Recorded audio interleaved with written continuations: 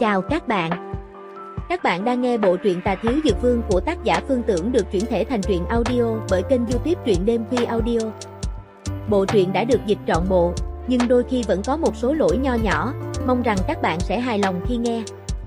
Nếu thấy hay, các bạn hãy cho mình xin 3 giây, nhấn like, share và nhấn nút đăng ký kênh để ủng hộ mình nhé. Xin cảm ơn. chương 256, xuất phát, mục tiêu xài lang tỏa, tiên võ, một đại sảnh rất lớn được xếp dày đặc gương đồng, mỗi một mặt gương lớn bằng cái chậu và được đặt trên một cái giá cao ngang người, trên mỗi giá đều có đánh số từ một đến hàng vạn, toàn bộ gương đồng đều xoay vào giữa sảnh, hợp thành một trận gương đồng hình tròn. Gương đồng dày đặc chi chít vừa đúng một vạn cái, chính giữa trận gương đồng là một tấm gương đồng thật lớn, đường kính hơn ba thước, tấm gương này được khảm vào trên mái vòm của sảnh, đây chính là một món trí bảo của tiên võ, gương đồng ánh võ. Trên gương đồng ánh võ phát sáng lập lòe, nó phóng ra vô số tia sáng, mỗi một tia sáng đều chiếu vào các gương đồng kia, trên mặt gương đồng sẽ hiện ra một cái tên. Vô số đệ tử tiên võ thường xuyên qua lại giữa các gương đồng, hiện tại âm thanh của những đệ tử kia vang lên không ngừng, trong ánh võ đại sảnh lúc này rất rối loạn. Hỏa nha đao phủ quách đông, xếp hạng 9928, vẫn lạc. Thủ lĩnh ngũ sát đoàn kỳ lân vương, xếp hạng 9736, vẫn lạc. Thành viên ngũ sát đoàn kỵ binh, xếp hạng 9814, vẫn lạc. Thành viên ngũ sát đoàn mãng nhận, xếp hạng 9867, vẫn lạc. Thành viên ngũ sát đoàn lão ngạc ngư, xếp hạng 9889, vẫn lạc. Thành viên ngũ sát đoàn ngân hồ, xếp hạng 9903, vẫn lạc. Trời à, rốt cuộc đã xảy ra chuyện gì vậy? Ngũ sát đoàn tại sao lại bị diệt toàn quân rồi? Không lẽ có nơi nào đó đã xảy ra chiến tranh ư? Chiến tranh rồi ư, sao lại có nhiều cường giả thiên lộ bảng vẫn lạc như thế? Không, còn chưa hết, một tên đệ tử đề cao âm lượng, cao giọng nói, Thảo Nhân Mộc Tử, xếp hạng 9854, vẫn lạc. Trong một tháng có 7 tên cường giả thiên lộ bảng vẫn lạc, chuyện như vậy đã bao lâu không xảy ra rồi. Bỗng nhiên một tên đệ tử chú ý tới gương đồng trước mặt mình, thoáng ngây dại rồi lắp bắp hô lên, chờ đã. Đường thiên xếp hạng 9637, tên gia hỏa này ở đâu chui ra vậy? Toàn trường rơi vào yên tĩnh, doanh trại tân binh, hồn tướng trước mặt có thân hình cao lớn, còn cao hơn đường thiên một cái đầu, thể hình khôi ngô tương đương với A mặc lý. Khuôn mặt giống đường thiên tới năm phần kia nghiêm túc lạnh lùng, trên đầu quấn búi tóc hình tròn cổ xưa. Gã lơ lửng trong không trung, trên tay cầm một thanh trả mã đao thể tích kinh người, vô cùng khí phách uy vũ, đường thiên há lớn miệng, ngơ ngác nhìn dũng tướng trước mắt, một lát sau mới có phản ứng, đường nhất, thượng sĩ. Binh đứng bên cạnh giải thích, ngươi là người đứng đầu doanh địa, nên hồn tướng sinh ra từ doanh địa đều mang họ đường. Thượng sĩ chính là quân hàm của hắn. Đáng tiếc, nếu có thể nuốt thêm ba tấm thẻ nữa thì tốt rồi. Là sao? Đường thiên khó hiểu hỏi lại. Nếu như nuốt thêm ba tấm thẻ nữa thì hắn sẽ thắng thêm một cấp nữa, giáo quan. Thực lực càng mạnh mẽ. Binh giải thích, có điều thực lực của hắn cũng không yếu đâu. Ồ, thượng sĩ Hoàng Kim, Binh có chút bất ngờ, một lát sau mới cảm khái nói, ý chí của quỷ trảo quả nhiên mạnh mẽ. Thượng sĩ Hoàng Kim là gì? Đường thiên vội vàng thắc mắc, ừm, ngươi xem gái hắn này. Dấu hiệu nam thập tự tọa là màu vàng kim, thượng sĩ Hoàng Kim vô cùng hiếm thấy. Thượng sĩ Hoàng Kim càng mạnh mẽ hơn so với thượng sĩ bình thường. Binh trầm ngâm giải thích, doanh địa biến hóa quá lớn, rất nhiều nơi ta không còn nhận ra. Để hắn kiểm tra một lần sẽ biết được thực lực thế nào. Ngoài sân kiểm tra, thật lợi hại, hai mắt đường thiên tỏa sáng, ánh đao của đường nhất trong sân bá đạo như sấm sét, vô cùng uy mãnh. Quả thực không tệ, binh cũng gật đầu đồng ý, thực lực của hắn trên dưới bát giai. Không quá thông minh nhưng có ý chí kiên định, võ kỹ thì xuất chúng, chỉ biết duy nhất một môn võ kỹ cấp đại sư. Đây có thể là nguyên nhân khiến hắn trở thành thượng sĩ Hoàng Kim. Tại sao lại là đao pháp? Đường thiên khó hiểu, ta tu luyện trảo công mà. Hợp nhất 16 tấm thẻ hồn tướng, kết quả sau cùng là như thế nào thì không ai biết được. Binh lắc đầu đáp, cho nên vào thời đại chúng ta, rất ít người làm như vậy. Bởi vì xác suất dung hợp thẻ hồn tướng cho bản thân quá nhỏ. Về phần hồn tướng thì lúc đó bọn ta không hề thiếu, có điều đối với ngươi lại là chuyện tốt, có đường nhất bên cạnh ngươi thì ta yên tâm rồi, đao pháp cấp đại sư, cảnh giới bát giai, thực lực mạnh hơn cả ngươi, ngoài ra không cần lo lắng về sự trung thành của hắn. Thật tốt quá, đường thiên vô cùng hài lòng, nắm bắt thời gian, sớm đến được nam thập tự tỏa đi. Binh trầm giọng nói, thành tam hồn cứ giao cho ta. Ừm, đường thiên dùng sức gật đầu, đường thiên phát hiện, không cần đến cửa hàng thẻ để mua thẻ tử kim, quang minh võ hội có người bán. hơn nữa có thể dùng tinh tệ để chi trả, đường thiên mua hai tấm, một tấm là không khí thuẫn kích thuật, một tấm là tàng phong. Hai tấm thẻ này ngốn mất năm ức của đường thiên, cả hai đều là võ kỹ rất đặc biệt, võ kỹ loại thuẫn vốn rất đặc biệt, chỉ ở thuẫn bài tọa mới có nhiều người tu luyện, tàng phong là một loại võ kỹ di chuyển che giấu hơi thở, hiệu quả của nó vô cùng tốt nhưng chân lực cũng tiêu hao vô cùng lớn, đối với lục giai thì thi triển tàng phong rất miễn cưỡng, mà những cấp bậc sau thì sẽ có nhiều võ kỹ tốt hơn, năm ức để mua thẻ tử kim tuyệt đối không rẻ. Nhưng đối với đường thiên mà nói thì hai tấm thẻ này lại vô cùng thích hợp. Trong tay hắn có đại sát khí như huyết sung thuẫn, thế nhưng lại không hiểu võ kỹ dùng thuẫn, bây giờ chỗ hở đó đã được chám lại. Mà đường thiên cũng cần loại võ kỹ khinh công như tàng phong. Kẻ bán xem đường thiên như là thần tài, vào thời điểm này lại chịu bỏ ra năm ước để mua hai tấm thẻ, tuyệt đối là giàu chảy mở, đường thiên còn mua một nhóm tinh thạch. Hắn còn định mua một món bí bảo hoàng kim, nhưng khi nhìn thấy giá thì hắn đã từ bỏ.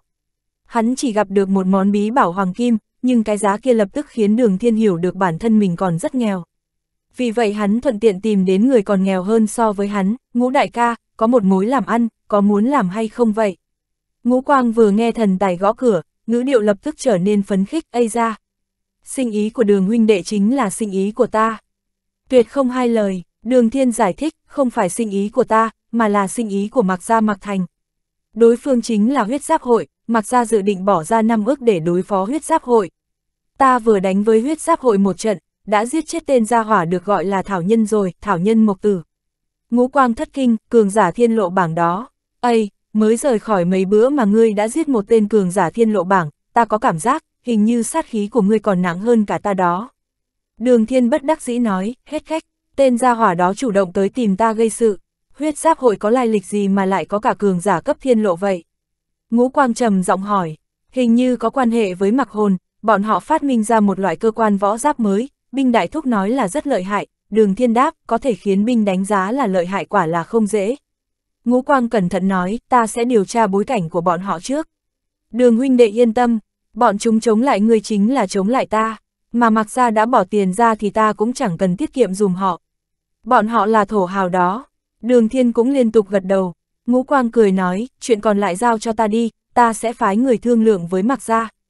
Được, đường thiên vui vẻ, hắn chỉ phụ trách bắt cầu, phần còn lại là do bọn họ thương lượng với nhau, trở lại tạ ra thôn, đường thiên rộng rãi đưa cho Lăng Húc và Hạc mỗi người một tấm thẻ hai ức tinh tệ. Ô Nha Kim đã tìm được, các ngươi vất vả rồi. Đường thiên vô cùng hào khí phất phất tay, bày ra bộ dáng đại ca, muốn thẻ hồn tướng hay bí bảo gì gì đó thì cứ mở miệng nói.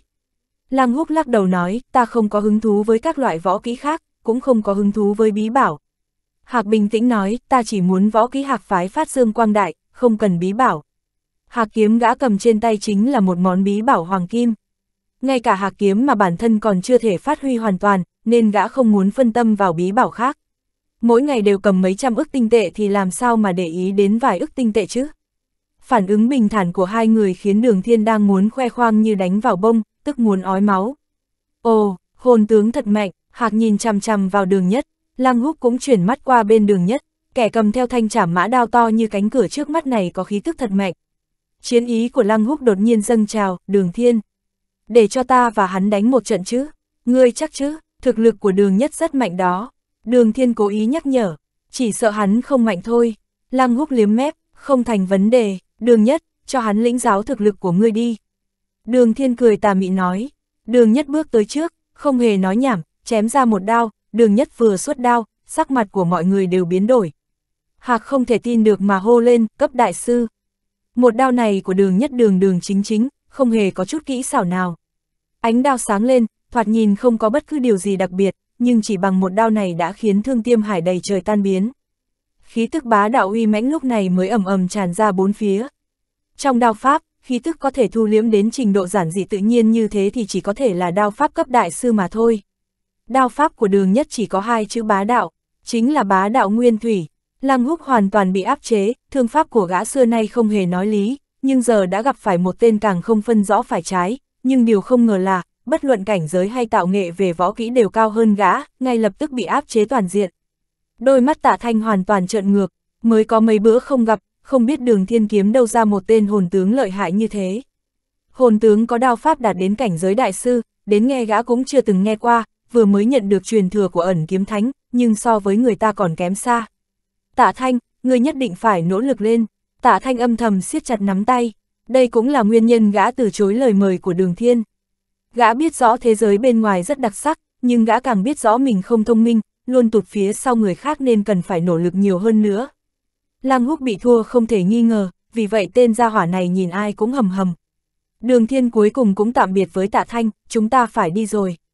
Chúng ta muốn xuyên qua xài lăng tọa, nếu gặp vấn đề gì thì có thể đến thành tam hồn tìm binh. Đường thiên vẫy tay với tạ thanh, tạ thanh nhìn đám người đường thiên, trong lòng có chút lưu luyến, nếu như không có sự hỗ trợ của nhóm đường thiên, không chỉ gã không thể nhận được truyền thừa của ẩn kiếm thánh, mà cả thôn cũng bị diệt phong. Gã nói lớn với đường thiên, đường thiên, chờ khi ta luyện thành ẩn kiếm lưu chân chính, ta sẽ tìm các ngươi. Đường thiên lộ ra dáng tươi cười dưới ánh nắng, vẫy tay với gã. Ngân xa bay lên bầu trời, tạ thanh nhìn ngân xa biến mất, trong lòng gã thầm nói. Đường thiên, lúc này ta không thể giúp được các ngươi, nhưng trong tương lai, kiếm của ta nhất định có thể trợ giúp các ngươi. Đường thiên, đây chính là lời thề của tạ thanh ta. chương 257, nan đề trong tu luyện. Đây là thông tin tình báo ở xài lang tọa, ta đã phân tích, tìm ra tuyến đường đi cho chúng ta, tỷ ba nói, giọng nhẹ như gió thoảng. Ma địch thương tiếc nhìn cô gái nhỏ mang bệnh suốt ngày này, lòng không ngừng than thở. Đinh đang mấy ngày nay rất buồn, vì giọt máu kia không hề hữu dụng. Chuyện này khiến Đinh đang bị đả kích khá lớn, trong khi tỷ ba lại lãnh đạm thả nhiên. Mọi người đối xử rất thân tình với hai chị em họ, thậm chí tái lôi sau khi nghe chuyện tỷ ba còn bật khóc, ngay cả người có ý chí sắt đá như binh, đối với tỷ ba cũng khách khí rất nhiều. Đinh đang tuy không vui nhưng cũng không quên nhiệm vụ của mình. Không hổ là chuyên viên tình báo, mọi thông tin về xài lan tọa được Đinh đang thu thập rất nhanh chóng. Tuy nhiên việc cô làm tiếp theo lại khiến mọi người ngẩn ngơ, Đinh đang đem toàn bộ mớ thông tin, tin tức kinh người đó ném hết cho tỷ ba. Đến lúc này, mọi người mới giật mình phát hiện ra cô gái lúc nào cũng có khả năng bị gió thổi bay này vậy mà lại có khả năng phân tích không ai sánh bằng. Cả một biển thông tin kinh người kia qua tay cô, nhanh chóng được phân tích tổng kết thành một bài báo cáo với hiệu suất khiến người ta nghẹn họng. Năng lực phân tích kinh người của tỷ ba lập tức khiến tái lôi và binh nhận ra ngay giá trị của cô. Nhanh như cắt, tái lôi mang cái kế hoạch khổng lồ xây pháo đài ném cho tỷ ba, chỉ mất mấy ngày, một bản kế hoạch rõ ràng trình tự đến tay tái lôi. Tái lôi mừng quá nhào ngay tới ôm lấy tỷ ba hôn một cái, khiến tỷ ba luống cuống đỏ bừng cả mặt. Đồng thời, tỷ ba cũng trở thành thành viên quan trọng trong ban tham mưu của binh, tuy tới giờ cả cái gọi là ban tham mưu ấy chỉ có binh và tỷ ba hai người mà thôi. Tuy tỷ ba không có kinh nghiệm thực tế, nhưng kiến thức phong phú, qua bao năm dài phân tích tình báo khiến tầm nhìn rộng rãi, và đầu óc linh hoạt, nên cơ hồ binh mang tất cả việc vặt ném hết cho cô, còn gã chỉ tập trung vào kế hoạch trải huấn luyện mà thôi, chỉ một thời gian cực ngắn, tỷ ba đã nhận được sự tôn trọng của mọi người. Trợ giúp tỷ ba chữa bệnh cũng trở thành một trong những ưu tiên số một của họ. Hiện giờ ở thành tâm hồn, cao thủ đã tụ cả lại, manh huyền lão nhân và phụ tá câm đã tới, thêm ma địch và binh, những thế lực phổ thông không thể nào chống nổi. Cầm trong tay hơn 20 ức tinh tệ, lại có cao thủ nhiều như mây, có nhân viên thu thập và chuyên viên phân tích tình báo, lực lượng phải nói là vô cùng hùng hậu. Kế hoạch xây dựng pháo đài được cấp tốc triển khai, trong số họ, người thong dong nhất là ma địch, nên gã trở thành người chuyển tin tức giữa thành tầm hồn và đường thiên. Đường thiên và Hạc cùng nghiên cứu thông tin tư liệu được ma địch đưa tới, Lăng Húc không có kiên nhẫn với những chuyện kiểu này, hơn nữa lần trước sau khi bị đường nhất đánh bại, nghẹn đầy một bụng, nên ngày nào cũng điên cuồng tu luyện. Đối tượng bồi luyện với gã chính là đường nhất, đường nhất có chỉ số thông minh không cao, nhưng có một ưu điểm là tuyệt đối chấp hành mệnh lệnh của đường thiên. Trong bồi luyện cũng không bao giờ nương tay, tàn bạo trà đạp lăng húc đến chết đi sống lại. Đường thiên và hạc nghiên cứu đường đi, không thể không nói, có người chuyên nghiệp làm cho cảm giác thực là khác. Đường thiên không còn bị cảm giác lơ mơ không biết gì về tình hình xung quanh, vì trong tư liệu đưa tới về xài lang tọa, thông tin, tin tức vô cùng phong phú, chính xác và tỉ mỉ. Xài lang tọa thật là loạn, tuy trước đây Đinh Đang đã nói qua, nhưng khi đường thiên thực sự nhìn thấy tư liệu về xài lang tọa, vẫn bị sự hỗn loạn của nó làm cho giật mình. Xài lang tọa, được xem là đất của vạn ác, người xài lang tỏa ai cũng hung ác độc địa, tàn bạo vô tình, trong mắt những tinh tỏa khác, đây là nơi hoang dã thiếu khai hóa, nơi đây hầu như không có buôn bán làm ăn, quanh năm chỉ có chém giết, hoàn toàn ngăn cách với bên ngoài. Đặc sản của xài lang tỏa cũng ít, không hơn gì ô nha tỏa, nhưng cũng có điểm khác là ô nha tỏa hoang vắng, còn xài lang tỏa dân số lại cực kỳ đông. Người của nơi này còn có một điểm khiến xung quanh ai cũng hãi, đấy là khả năng sinh đẻ cực cao. Một tinh tọa nhỏ bé, mà dân số lại động, thế nên đương nhiên quanh năm suốt tháng đều rơi vào trong cảnh hỗn chiến. Các thế lực to nhỏ nơi đây rất nhiều, nhưng tóm lại, đại khái có thể chia làm ba thế lực, Ngân Nguyệt, Thiên Câu và Phách Võ. Ba tổ chức này đối ứng có ba vị cường giả thiên lộ bảng, mỗi người bọn họ hùng cứ một phương, cao thủ dưới trướng vô cùng đông đúc. Tuy quanh năm đánh nhau không nghỉ, nhưng cũng có tác dụng kềm chế lẫn nhau. Thủ lĩnh Ngân Nguyệt là Khang Đức, thủ lĩnh Thiên Câu là Hoài Bạch Hoa, còn thủ lĩnh Phách Võ là Ổ Thiết Phú. Trên thiên lộ bảng, Khang Đức đứng thứ 9256, Hoài Bạch Hoa thứ 9278, còn Ổ Thiết Vũ là 9293. Thứ hạng ba người họ gần nhau, bản lĩnh cũng sàn sàn với nhau, dưới trướng của họ cũng có cường giả thiên lộ bảng, Ngân Nguyệt mạnh nhất, có 5 người, hai thế lực còn lại mỗi bên có 4 người. Một xài lang tọa nho nhỏ vậy mà lại có tới 15 cường giả thiên lộ bảng, so với ô nha tọa thì mạnh hơn không biết bao nhiêu lần. Có điều xài lang tọa tuy chiến lực mạnh, nhưng lại không có dục vọng mở rộng ra ngoài, người ở đây đa số bẩm sinh đều có huyết mạch đặc thù, những huyết mạch này lại cần phải có một thứ đồ vật đặc thù mới thức tỉnh được. Đây được gọi là thức tỉnh huyết mạch, mỗi một huyết mạch đều vô cùng chân quý. Tam đại thế lực sở dĩ có thể sư ngùng ở xài lang tọa, ngoài thực lực mạnh mẽ, còn vì bọn họ đều đã thức tỉnh huyết mạch của mình. Thức tỉnh huyết mạch chỉ có ở xài lang tọa, chúng là một loại nước đỏ thấm như máu, có thể kích hoạt huyết mạch trong thân thể người xài lang tọa.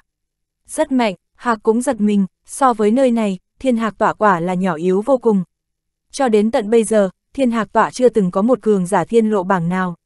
Trong khi đó xài lang tọa lại có tới 15 tên, thực đủ giết cả thiên hạc tọa máu chảy thành sông. Sắc mặt hạc vô cùng nghiêm trọng, gã muốn phục hư ngạc phái, đương nhiên phải làm cho thiên hạc tọa mạnh lên trước.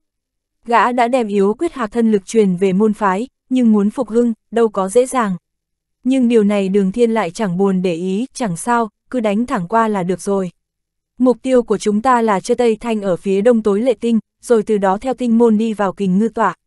Hạc nghiêm túc cũng có nghĩa là, ba thế lực này chúng ta đều phải đi qua. Người xài lang tọa rất ghét người từ ngoài tới, chúng ta không nên hy vọng vào may mắn.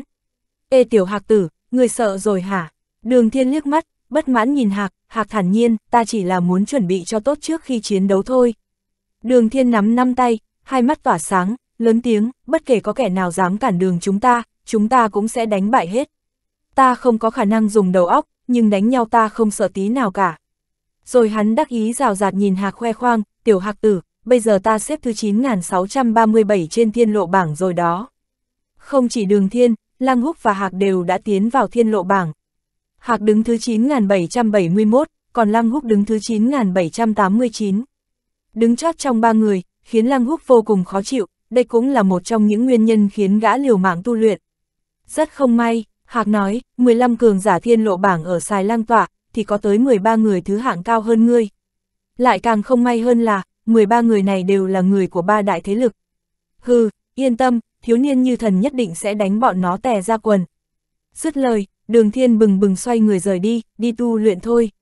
Đường thiên vào trại tân binh, bắt đầu chú tâm tu luyện. Ngoài những chuyện quan trọng phải làm, thời gian còn lại đường thiên đều dùng câu tu luyện, liều mạng mà tu luyện. Biết mình không đủ thông minh, nhiều chuyện không cần đến hắn đi quyết định, nhưng có một chuyện hắn có thể quyết định, đó chính là tu luyện, đó chính là khắc khổ, đó chính là phải chính mình làm. Hắn không sợ chiến đấu, vì hiện tại mồ hôi hắn đổ ra bây giờ nhiều hơn bất kỳ ai. Có nam thập tự tỏa trợ giúp, còn có thẻ hồn tướng tốt, còn lý do gì mà không liều mạng chứ?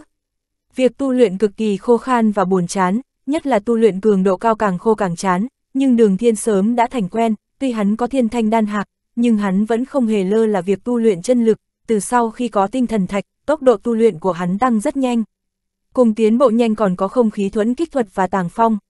Đường thiên luyện không khí thuẫn kích thuật trong một căn phòng chuyên dụng, bên trong vẫn thạch bồng bềnh khắp nơi như một biển vẫn thạch. Những vẫn thạch này to nhỏ không đều, di chuyển cũng không theo quy tắc nào, tốc độ lại cực nhanh. Nhiệm vụ của đường thiên là dùng huyết sung thuẫn ngăn cản tất cả các vẫn thạch tông vào hắn. Phòng tu luyện này tên là vẫn thạch thiên, chuyên dùng để tu luyện vũ kỹ phòng ngự, với ba độ khó cao trung thấp, do đường nhất giới thiệu cho đường thiên, đường nhất là thượng sĩ, đương nhiên cực kỳ quen thuộc với binh doanh. Lần đầu vào đây, đường thiên bị vẫn thạch bay vèo vèo, gầm rít khắp trời làm sợ chết khiếp. Rất nhanh chóng hắn được nếm thế nào là lợi hại, ngày đầu tiên từ đây đi ra, mặt mũi đường thiên bầm dập, cả người đều có vết thương, mà chỉ mới là độ khó ở mức thấp thôi đấy. Đường thiên mặt tái mét, vì theo lời đường nhất, thì đao thuẫn binh của binh đoàn xà phu với trình độ tương đương đã phải hoàn thành bài khảo hạch với độ khó cao hơn hai đẳng cấp so với độ khó cao nhất của vẫn thạch thiên, ngụ ý của đường nhất, không cần nói ra cũng biết. Đường thiên vừa định nghỉ xả hơi, nghe thế, không nói không rằng lại xông vào. Giá tiền tấm thẻ tử kim này tuy mắc, nhưng thể ngộ ẩn chứa bên trong phong phú hơn nhiều so với thẻ hoàng kim. Cường độ tu luyện cao khiến tốc độ lĩnh ngộ của đường thiên cũng tăng nhanh.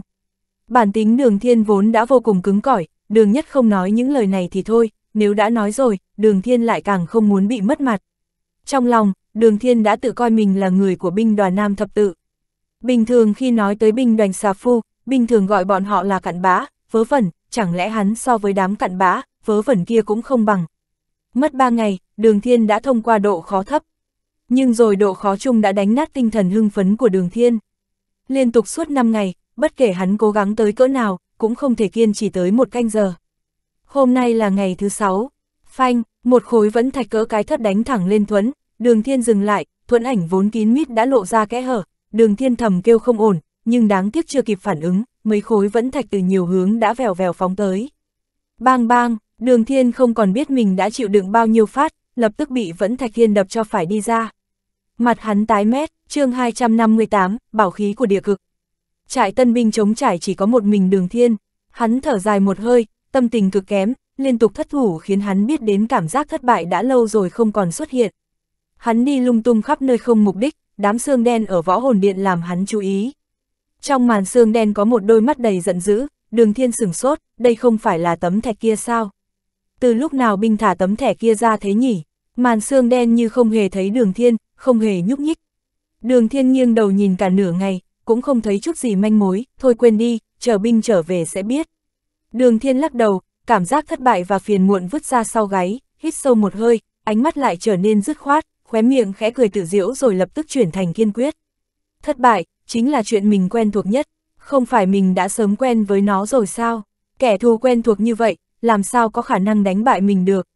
Chịu thua, từ buồn cười như thế, tuyệt đối sẽ không xuất hiện trên người thiếu niên như thần, trước đây không có, bây giờ cũng không. Hạ nó thôi, đường thiên nắm tay lại, đằng đằng sát khí xoay người đi về phía vẫn thạch thiên. Không biết bao lâu sau, đường thiên bị hạc gọi ra, mới biết đã qua 10 ngày. Đường thiên giật mình, thì ra hắn đã ngây ngốc ở trong doanh binh suốt 30 ngày, nghĩa là tròn 40 ngày tu luyện. Tin tốt, là chúng ta đã vào xài lang tỏa. Hạc nói tin xấu, là chúng ta bị người ta theo dõi, ở lật hà phía trước. Bị người theo dõi, đường thiên mặt còn mờ mịt, hắn vẫn còn chưa từ trạng thái tu luyện tỉnh táo hẳn. ầm ầm, toa xe bỗng bị chấn động kịch liệt, bị công kích. Con mắt còn hơi mờ mịt của đường thiên lóe lên tơ máu. Nếu như nói mới vừa rồi hắn còn là một con sư tử chưa tỉnh ngủ, thì bây giờ con hùng sư đã tiến thẳng vào trạng thái chiến đấu. Biến hóa cực nhanh trong tích tắc như vậy khiến Hạc nhìn thấy phải dùng mình. Đường thiên đột nhiên biến mất trước mắt gã. Hạc vội vào tới vòng bảo hộ cạnh xe, đường thiên đã hóa thành một điểm đen nho nhỏ, tên này vậy mà lại trực tiếp nhảy xuống khỏi xe, giết. Phía dưới truyền tới một tiếng quát to, vù vù vù, năm mũi tên đồng mang theo vầng sáng gồm 6 màu vẽ ra năm đường sáng lục sắc bắn thẳng vào đường thiên còn đang giữa không trung. Năm mũi tên nhắm vào năm chỗ khác nhau trên người đường thiên, dù hắn có né đi đâu cũng không tránh hết được.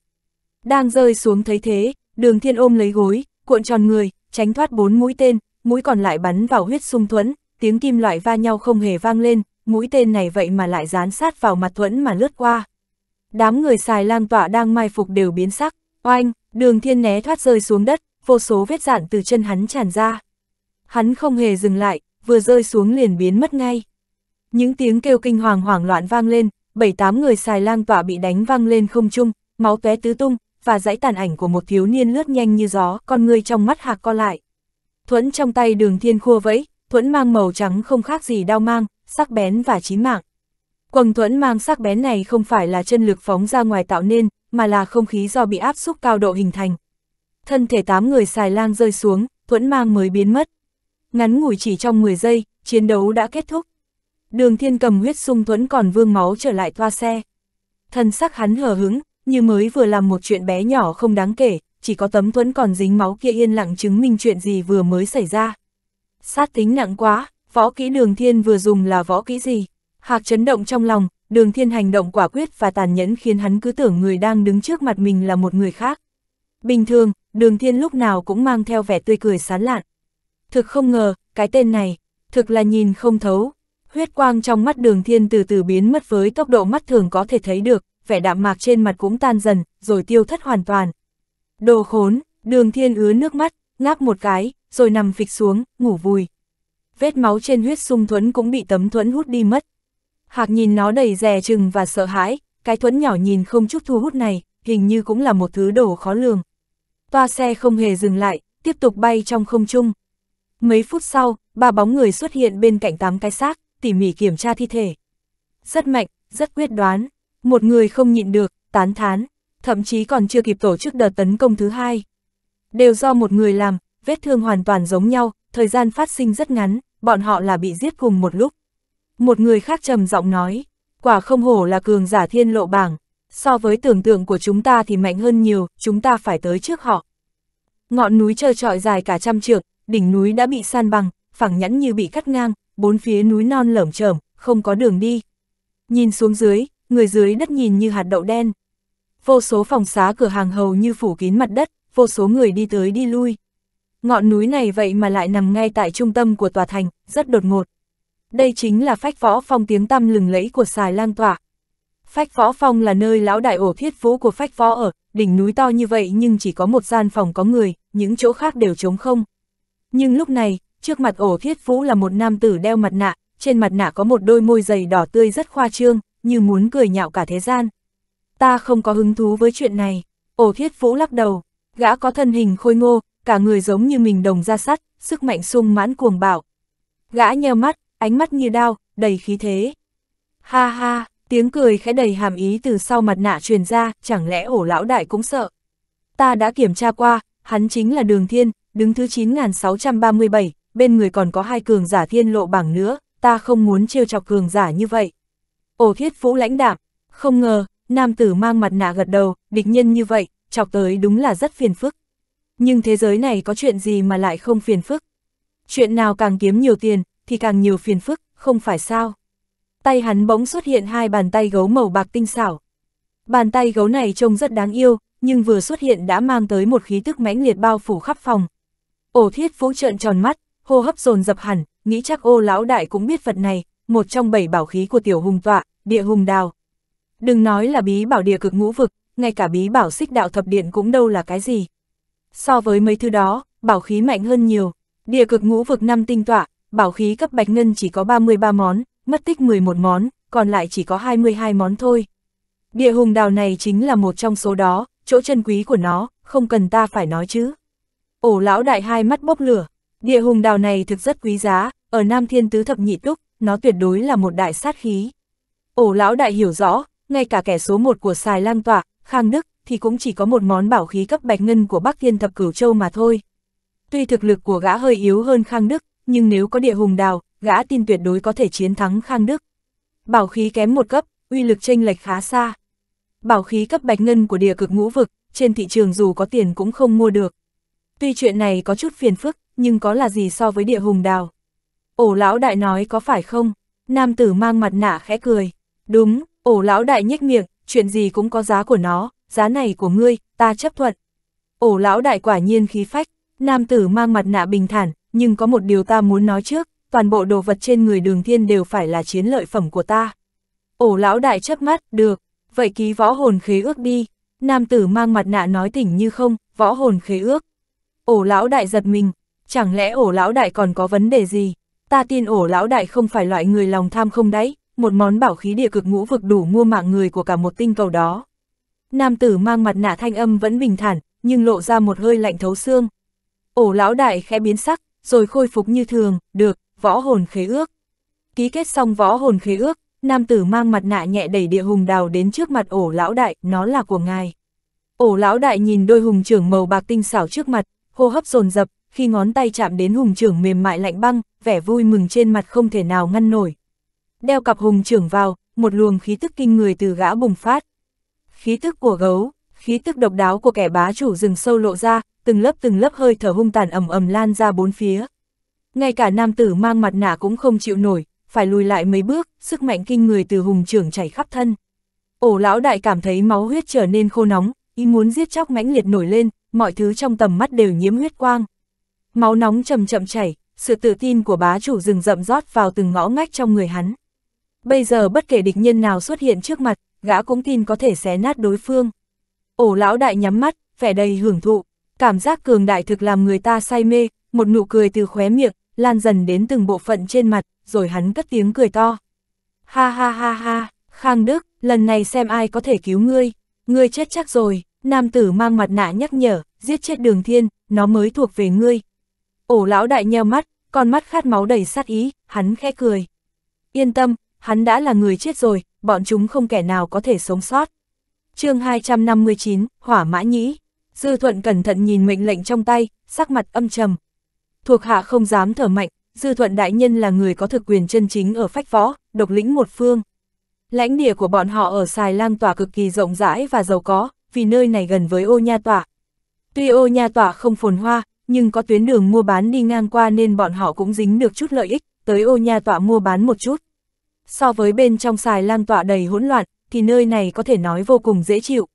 Dư thuận đại nhân là nhân vật đứng thứ nhì của phách võ, nên mới có tư cách chiếm cứ nơi màu mỡ này. Lúc trước sai theo dõi cái xe kia, đã phái người đi chưa? Dư thuận bỏ mật lệnh trong tay xuống, đột nhiên hỏi. Thủ hạ giật thót, vội đáp phái đi rồi, theo lời dặn của đại nhân, người chúng ta luôn theo sát bọn họ.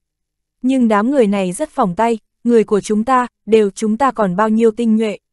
Dư thuận hỏi, khoảng 40 người, thủ hạ tính toán rồi đáp, phái thêm 10 người nữa. Dư thuận vung tay, không chút do dự quyết định. Vâng, tên thủ hạ kinh hãi, toa xe kia, rốt cuộc là ai? Bất kể ra sao cũng phải trì hoãn được 3 ngày. Dư thuận thản nhiên, Thủy Thừa và Vĩnh Thu hai vị đại nhân đang dẫn theo 70 người tinh nhuệ, ba ngày sau mới tới, tên thủ hạ lúc này đã hoàn toàn ngây dại. Thủy Thừa và Vĩnh Thu đại nhân, là nhân vật đứng thứ ba và thứ tư của phách võ, đều là cường giả thiên lộ bảng. Mà ở phách võ, có thể được gọi là tinh nhuệ, đều là võ giả cấp thiên lộ. Lần này hành động lớn đây. Vâng, gã cố nén kinh hãi trong lòng, run rẩy tuân mệnh. Đi đi, Dư Thuận phất tay, tên thủ hạ vội cáo lui. Dư Thuận nhìn ra xa, mặt hiện vẻ sầu lo, lão đại đi tìm Khang Đức rồi. Có địa hùng đào tương trợ, lão đại như hổ thêm cánh, thực lực tăng lên ít nhất ba thành. Dư Thuận rất hiểu lão đại, lão đại bị Khang Đức đè ép suốt bao nhiêu năm, sớm luôn uất nghẹn trong lòng, bây giờ thực lực đại tăng, tất nhiên khẩn cấp đi tìm Khang Đức. Nhưng Dư Thuận thấy lo, kẻ có thể khiến địch thủ của mình dùng địa hùng đào làm thù lao, làm sao là loại người dễ đụng tới được. Dư Thuận tự diếu cười cười, chẳng lẽ sống yên bình lâu quá nên mình mất đi ý chí chiến đấu, trở nên nhát gan rồi hay sao? Đối phương ba người đều là cường giả thiên lộ bảng không sai, nhưng ba người phe mình, cũng đâu phải không là người trên thiên lộ bảng. Huống chi, bọn họ còn có khoảng 100 võ giả tinh nhuệ cấp thiên lộ, chỉ riêng 100 người này cũng đã đủ tạo uy hiếp cho chúng rồi. Lão đại yên tâm đi tìm Khang Đức gây chuyện, chắc vì cũng đã nghĩ tới điểm ấy. Thực lực phe mình tuyệt đối đã chiếm ưu thế, nếu thành công, phách võ nhất định sẽ trở thành thế lực mạnh nhất cả xài lang tỏa. Nghĩ đến đó, Dư Thuận không khỏi cảm xúc dâng trào. Đường thiên lim dim, ngủ được một giấc vô cùng sung sướng, toàn thân hắn đều thư thái, tinh thần thỏa mãn trọn vẹn. Ách, chờ chút, đường thiên mờ mịt nhìn quanh, mình đang ở trên lưng đường nhất. Đường nhất xài bước, cảnh sát hai bên lướt qua rất nhanh, người tỉnh rồi. Hạc thản nhiên nói, dáng vẻ vô cùng tiêu sái khó tả, trong tư thế đang bay này, rất tiêu sái xuất trần, như một con hạc lớn đang lướt gió. Lăng húc ngồi trên lưng hỏa liệt điều, cười nhạo, ngươi làm cho tất cả heo trên đời này đều phải xấu hổ lây, chúng nó tuyệt đối không thể bằng ngươi ngủ suốt ba ngày được, a a, thực là bội phục bội phục. Chúng ta, a đường thiên mặt mũi mờ mịt, ơ, toa xe đâu? Chúng ta đổi lộ trình. Hạc vừa bay vừa nói, toa xe bắt mắt quá, chúng ta thu lại rồi, nguyên toa xe này cũng là một bí bảo, nên mới có thể thu hồi. Hơn nữa đường thiên lúc đó vì để cho tiện, nên cũng không làm ấn ký của mình trên xe. Đường thiên dại mặt ra, đổi lộ trình. Lộ trình của Đinh đang có vấn đề hả? Không có, Hạc trả lời càng khiến đường thiên mù mở thêm. Chúng ta bị theo dõi rất sát. Hạc điềm tĩnh, người giải quyết một đợt rồi, chúng ta còn gặp phải năm đợt tập kích nữa, a à. Đường thiên tròn mắt, kinh ngạc, chúng ta bị tập kích. Ta giải quyết một đợt, ô, sao ta không có chút ấn tượng gì nhỉ? Thật kỳ quái, chắc lúc đó người mệt quá. Hạc trả lời qua loa, Lăng húc cười lạnh, cực kỳ khó chịu, người thì ngủ ngon rồi, suốt ba ngày, chúng ta thì mệt như chó. Bao nhiêu là võ giả thiên lộ chạy tới như ruồi, phiền muốn chết người. Làm lãng phí bao nhiêu thời gian tu luyện của ta. Võ giả thiên lộ, đường thiên lại ngẩn ngơ. Võ giả thiên lộ tuy bọn họ có thể ứng phó, nhưng đâu thể thoải mái như thế. Then chốt là, võ giả thiên lộ không phải là người yếu, hắn nghiêm túc hẳn, bao nhiêu người. Võ giả thiên lộ có 5 người, Hạc vẫn bình tĩnh như cũ, ta ngờ là trước mặt cũng có mai phục, năm đợt phục kích, rõ ràng là có tổ chức. đối phương chắc hẳn muốn giảm tốc độ di chuyển, kéo dài thời gian của chúng ta. Nếu như vậy, rất có khả năng chúng đang tranh thủ thời gian để triệu tập nhân thủ. Năm võ giả thiên lộ, tuyệt đối không thể là một thế lực nhỏ được. Võ giả thiên lộ không phải là đối thủ của ba người đường thiên, nhưng nếu đạt tới một số lượng nhất định thì hoàn toàn có thể tạo nên uy hiếp cho họ. Sáu đợt tập kích liên tục, tuyệt đối không phải bình thường. Hạc suy đoán rất có lý, ha, nhìn không ra nha. Tiểu hạc tử, trí thông minh của ngươi sắp bằng ta rồi nha. Đường thiên ngạc nhiên, thân hình đang bay của hạc thoáng trượng lại, trên lưng hỏa liệt điểu, lăng húc chẳng hề ý tứ cười dữ dội, ha ha ha ha, hạc, thì ra chỉ số thông minh của ngươi lại cùng trình độ với cái tên này, chúc mừng, chúc mừng. Hạc chẳng buồn nhìn hai kẻ vô lương tâm kia, theo lộ trình của Đinh Đăng, chúng ta hướng về phía đông, đi thành một vòng tròn, vòng qua thành Mạc Tây Càn, lựa chọn điểm đến trong kế hoạch thứ hai, thành Bỉ Á, giao hết cho ngươi. Đường Thiên vung tay, chẳng buồn quan tâm, mấy chuyện kiểu này để mấy người đầu óc thông minh lo đi, dù sao chỉ cần sau cùng đến nơi là được. Bỗng đường Thiên biến sắc, có người đang tới đây, hắn nhảy xuống khỏi lưng đường nhất, Hạc và Lăng Húc cũng vào thế phòng bị, chẳng lẽ đối phương đuổi tới rồi. Hai người liếc nhau, nếu trong thời gian ngắn vậy mà đối phương đã tìm ra hành tung của họ, vậy thì chúng thực là đáng sợ, một đoàn người xuất hiện trong tầm mắt. Khoảng 20 người, bao quanh một nữ nhân mặc giáp da. Nữ nhân này cầm một cây roi ngựa, dáng vẻ diêm dúa lẳng lơ, mắt màu lam, mũi cao thẳng băng, tóc dài đỏ hồng, môi dày mềm mại, vô cùng gợi cảm. Đám người kia hình như cũng không ngờ ở đây lại có người, nên ai cũng biến sắc, đau thương rút cả ra như gặp đại địch. Cô gái tóc hồng nhìn thấy hỏa liệt điểu dưới thân lăng húc, mắt hiện dị sắc, vung tay lên cản thủ hạ, thúc ngựa tiến tới, cười nhẹ, các vị, vì sao lại xông vào lãnh địa của bộ lạc hỏa lang ta. Thanh âm mềm nhẹ, thấm vào tận lòng người. Đường thiên đầy vẻ đề phòng, nữ nhân này làm hắn nhớ tới tái lôi trước đây, thực là đáng sợ. Hắn thả đối phó với tinh hồn thú, chứ không muốn đối diện với những nữ nhân như vậy. Vì vậy, đường thiên yên lặng lùi lại một bước, lăng húc cũng ăn ý lùi lại một bước, nữ nhân thế này là loại sinh vật đáng sợ, thôi để hạc đối phó đi. Soạt, mọi ánh mắt đều chuyển sang hạc. Hạc luôn ôn hòa và điềm tĩnh khiến người ta không tự chủ sinh lòng hảo cảm, có mấy nữ nhân trong đám người kia ánh mắt đã nóng lên rồi. Hạc thong dong thi lễ, bộ dáng chân thành, bọn chúng ta muốn tới thành Bỉ Á, không ngờ bị lạc đường, vô ý xông vào lãnh địa của quý bộ lạc, xin các vị thứ lỗi. Thành Bỉ Á, nữ tử tóc hồng khẽ cười, các vị đi nhầm hướng cũng thật là lợi hại. Nếu cứ tiếp tục đi theo hướng này, vĩnh viễn cũng không tới được thành Bỉ Á. Soạt, Đường Thiên và Lăng Húc đều quay sang nhìn Hạc, cái tên này lại dẫn đi nhầm đường. Ánh mắt bất thiện sau lưng làm Hạc như bị kim chích vào lưng, không lẽ mình nhầm đường thật. Gã thấp thỏm, vội hướng nữ nhân tóc hồng hành lễ, vậy xin tiểu thư chỉ hướng giúp cho. Điệu bộ vô cùng lễ phép của Hạc khiến nữ tử vui vẻ, chỉ cũng không sao, nhưng mà trùng hợp chúng ta cũng đang trở về, nếu không ngại các vị đồng hành với chúng ta đi. Đến bộ lạc chúng ta là cũng sắp tới thành Bỉ Á rồi. Hạc vô cùng cảm kích, vậy đa tạ tiểu thư, ta tên là Hỏa Mã Nhĩ. Nữ tử tóc hồng thoải mái nói, thiếu niên anh Tuấn à, người tên là gì? Ta tên Hạc, Hạc mỉm cười, rồi chỉ vào đường thiên và lăng húc, hai người này, đây là đường thiên, đây là lăng húc. Đường thiên và lăng húc vội vàng cung tay chào hỏi hỏa mã nhĩ.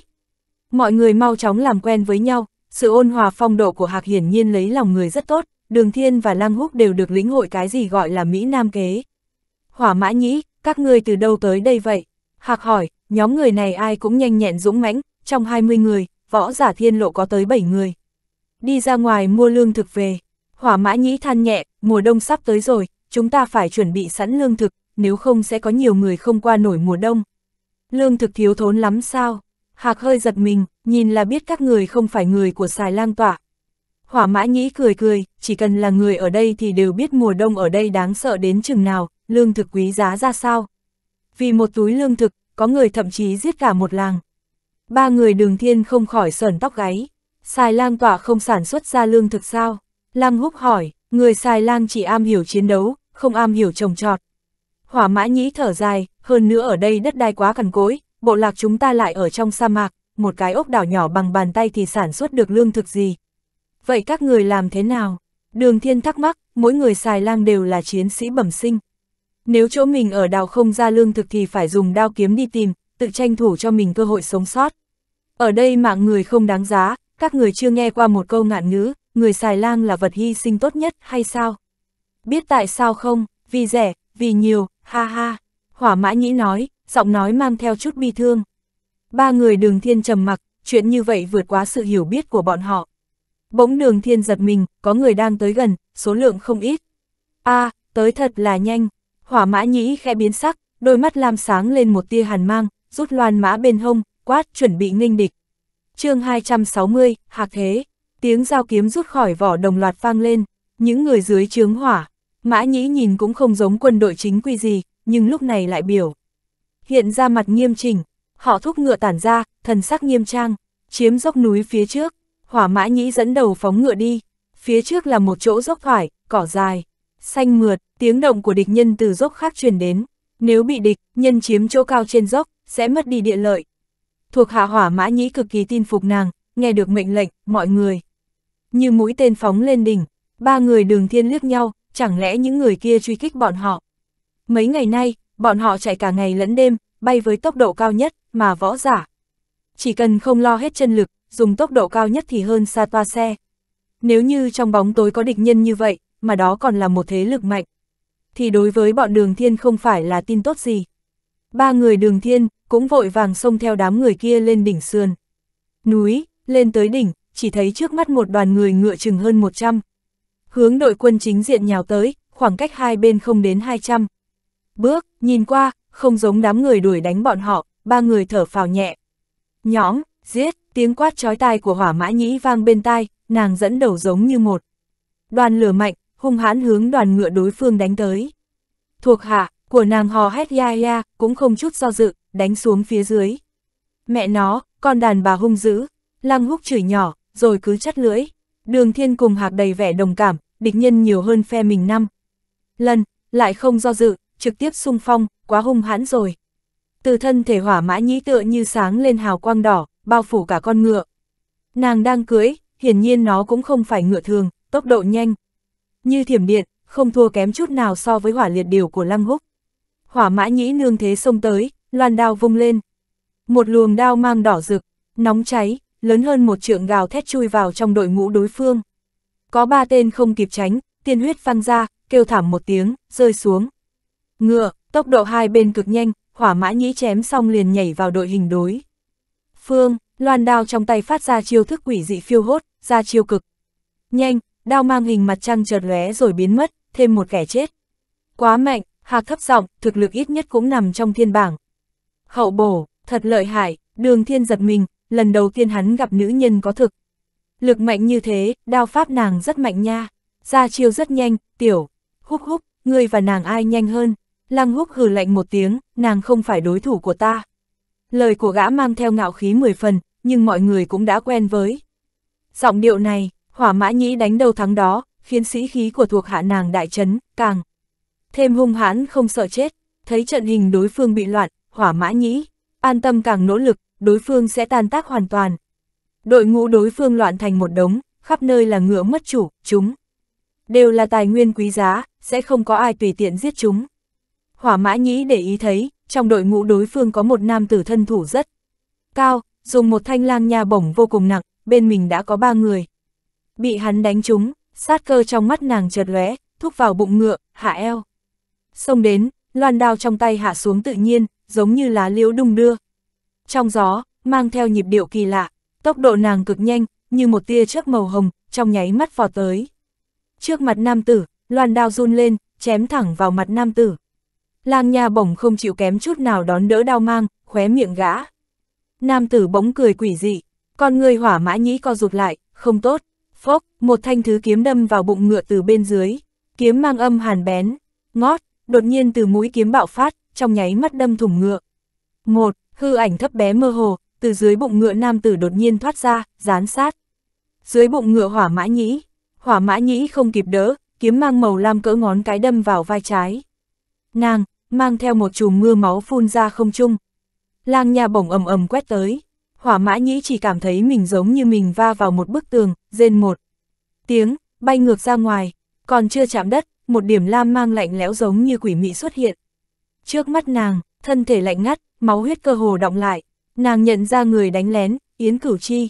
Với thực lực Yến Cửu Chi, tuyệt không thất thủ, nàng hoàn toàn tuyệt vọng. Bỗng nhiên, một luồng hoa lửa chói mắt như hỏa tiễn xuất hiện trong tầm mắt. Nàng, giải hoa lửa chuẩn xác bắn chúng lam sắc kiếm mang, bốp, một tiếng nổ. Tung, hỏa mã nhĩ tìm được đường sống trong chỗ chết, còn đang kinh hãi, nàng vô. Thức nhìn ra xa, lui liền đến mấy trượng, nàng mới nhìn rõ, đường thiên đã chắn ngang trước. Mặt nàng, tên này, vậy mà lại ngăn được kiếm của Yến Cửu Chi. Đường thiên tùy tiện nói, ê, ngươi không thể giết nàng, ta cũng không muốn. Giết ngươi, các ngươi đi đi, ta không làm khó các ngươi. Biểu tình trên mặt hỏa mã nhĩ cứng lại, nàng nghi ngờ, tên này có phải đầu bị. Cửa kẹp rồi không, hắn nói làm người nghe dỡ khóc dỡ cười. Nàng lúc này mới thấy rõ hình dáng Yến Cửu Chi, thân hình nhỏ thó, chỉ có một. Thước sáu, ánh mắt lạnh như rắn rết, trong tay cầm một thanh trường kiếm. Xanh, đồng tử Yến Cửu Chi co lại, ngươi là ai? Ta là Đường Thiên, Đường Thiên vỗ vỗ ngực, đắc ý nói, ta là võ giả thiên. Bảng, rất lợi hại đó. Ánh mắt mọi người nhìn Đường Thiên đều trở nên quái dị. Mặt hỏa mã nhĩ, nóng bừng, nàng cảm thấy hết nói nổi, với bộ dáng đắc ý rào rạt kia rõ ràng là một gã lưu manh, nào có nửa điểm phong phạm cao thủ. Trong mắt Yến Cửu Chi hiện lên một tia đùa cợt, thiên bảng võ giả. Phi, thân hình gã đột nhiên biến mất, một điểm lam quang lành lạnh, bắn thẳng. Đến yết hầu đường thiên, nam tử dùng lang nha bổng đột nhiên nhảy lên lướt qua đầu đường thiên. Quát lớn một tiếng vung lang nha bổng nện tới hỏa mã nhĩ. Keng, một bóng đen lăng không chém tới, một điểm trắng đâm thẳng tới lang nha. Bổng, nam tử dùng lang nha bổng không khỏi hoảng sợ biến sắc. Gã chỉ cảm thấy, một kiếm mang sắc nhọn trong nháy mắt phá vỡ chân lực chui vào kinh mạch. Mình, thân thể như thiết tháp bay ngược lại. Cũng vào lúc này, đường thiên động, ba luồng miêu nhận mang theo vết máu chắn trước mặt đường thiên, khóa. Chặt thứ kiếm của Yến Cửu Chi, đường thiên không chút động đậy, trong mắt Yến Cửu Chi hiện lên vẻ lạnh lùng, thứ kiếm vốn bị chặn lại đột. Nhiên từ mũi kiếm bắn ra một luồng kiếm mang thẳng vào mặt đường thiên. Nhưng đường thiên như đã sớm đoán được, nghiêng đầu đi, thoải mái để nó. Lướt qua, đồng tử Yến Cửu Chi co lại, cao thủ, chân lực vừa tuôn ra, thứ kiếm bị khóa như cuộn sóng rung lắc, lại giống một. Con mãng xà hung mãnh liều mạng dãy ruộng, đường thiên bỗng hướng Yến Cửu Chi nhếch miệng cười. Trong lòng Yến Cửu, Chi nhảy dựng, lực trói buộc trên thứ kiếm biến mất, thoát ra rồi. Yến Cửu Chi, vui vẻ trong lòng, đang muốn thối lui, bỗng nhiên một luồng chân lực sắc nhọn. Từ trong thứ kiếm chui vào kinh mạch gã. Không ổn, Yến Cửu Chi cảm thấy như có một cái rùi đột nhiên đâm vào kinh mạch mình. Sắc mặt gã đột biến, chân lực trong cơ thể suýt nữa hỗn loạn, phun ra một. Ngụm máu tươi, bất chấp khí huyết đang hỗn loạn trong ngực quay đầu bỏ. Chạy, trúng kế rồi, thân thủ người này sâu không lường được, bộ dáng lưu manh, là. Để mình mất cảnh giác, đường thiên cũng quên đuổi theo, hắn còn đứng ở đó, nhớ lại một kích kia. Thực lực của hắn đúng là mạnh hơn Yến Cửu Chi, nhưng nếu đối cứng, không. Có mấy chục hiệp, căn bản là khó thắng. Vừa rồi nhờ trực giác đoán được phản, ứng của đối thủ, nương theo đối phương rút vũ khí về, thuận thế đưa theo một. Luồng chân lực, không nghĩ tới hiệu quả lại tốt đến lạ thường. Thì ra chân lực còn có thể dùng như vậy. Đường thiên cảm thấy như mở ra một cửa sổ hoàn toàn mới, thật có chút. Giống tứ lượng bạt thiên cân A, thì ra gia tăng chân lực để đấu cứng, hiệu quả. Không thể bằng thuận thế mà làm, nếu dùng đúng chỗ, một tí chân lực cũng có, thể sinh ra hiệu quả kinh người. Mạnh yếu, chỉ là tương đối, là sự biến hóa của nhau. Trong mắt đường thiên hiện lên vẻ hiểu ra, trong lòng tràn ngập mừng rỡ. Vốn tưởng đã hoàn toàn lĩnh ngộ võ kỹ, lúc này hắn lại dường như nhìn thấy.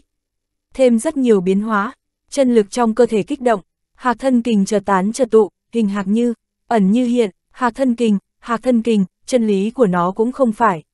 Như mình nghĩ lúc trước là như thân hạc, mà là tại thân hạc biến hóa.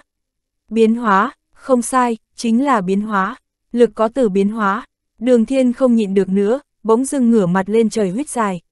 Hạc, thân trong cơ thể bị hạn chế trong hạc hình lúc trước, giờ bỗng dưng giang. Cánh vươn cổ, khoan thai mà đứng, hàng ngàn hàng vạn chân lực li ti trên thân. Hạc đột nhiên trở nên sinh động dị thường tựa như sống lại. Hạc thân giống trả lời với đường thiên, vươn cổ kêu to. Quanh thân đường, thiên xuất hiện một loại khí thế khó tả, tiếng huyết dài, réo rắt như hạc kêu, tuy không lớn lắm, nhưng ở ngoài 10. Dặm lại có thể nghe như bên tai, thân thể hạc đột nhiên chấn động, nhìn đường thiên không tin nổi, đây là hạc thế, gã lĩnh ngộ chân lý hạc thân kinh, tạo thành hạc thế. Lăng húc cũng nhìn đường thiên mà không tin, tên này, như vậy cũng có thể. Đột phá sao, âm thanh huyết dài này, phá tan toàn bộ ý chí địch nhân. Hỏa mã nhĩ mang, theo vẻ mặt hoảng sợ nhìn đường thiên, tiếng huyết kéo dài không dứt, hoàn. Toàn không để ý chân lực nàng, vào thẳng đáy lòng, nàng thậm chí không có. Chút ý niệm chống lại, Yến Cửu Chi đang chạy trối chết nghe tiếng huyết này, chân lực trong cơ thể. Bỗng dưng rối loạn, khiến gã ngã luôn từ giữa không trung xuống.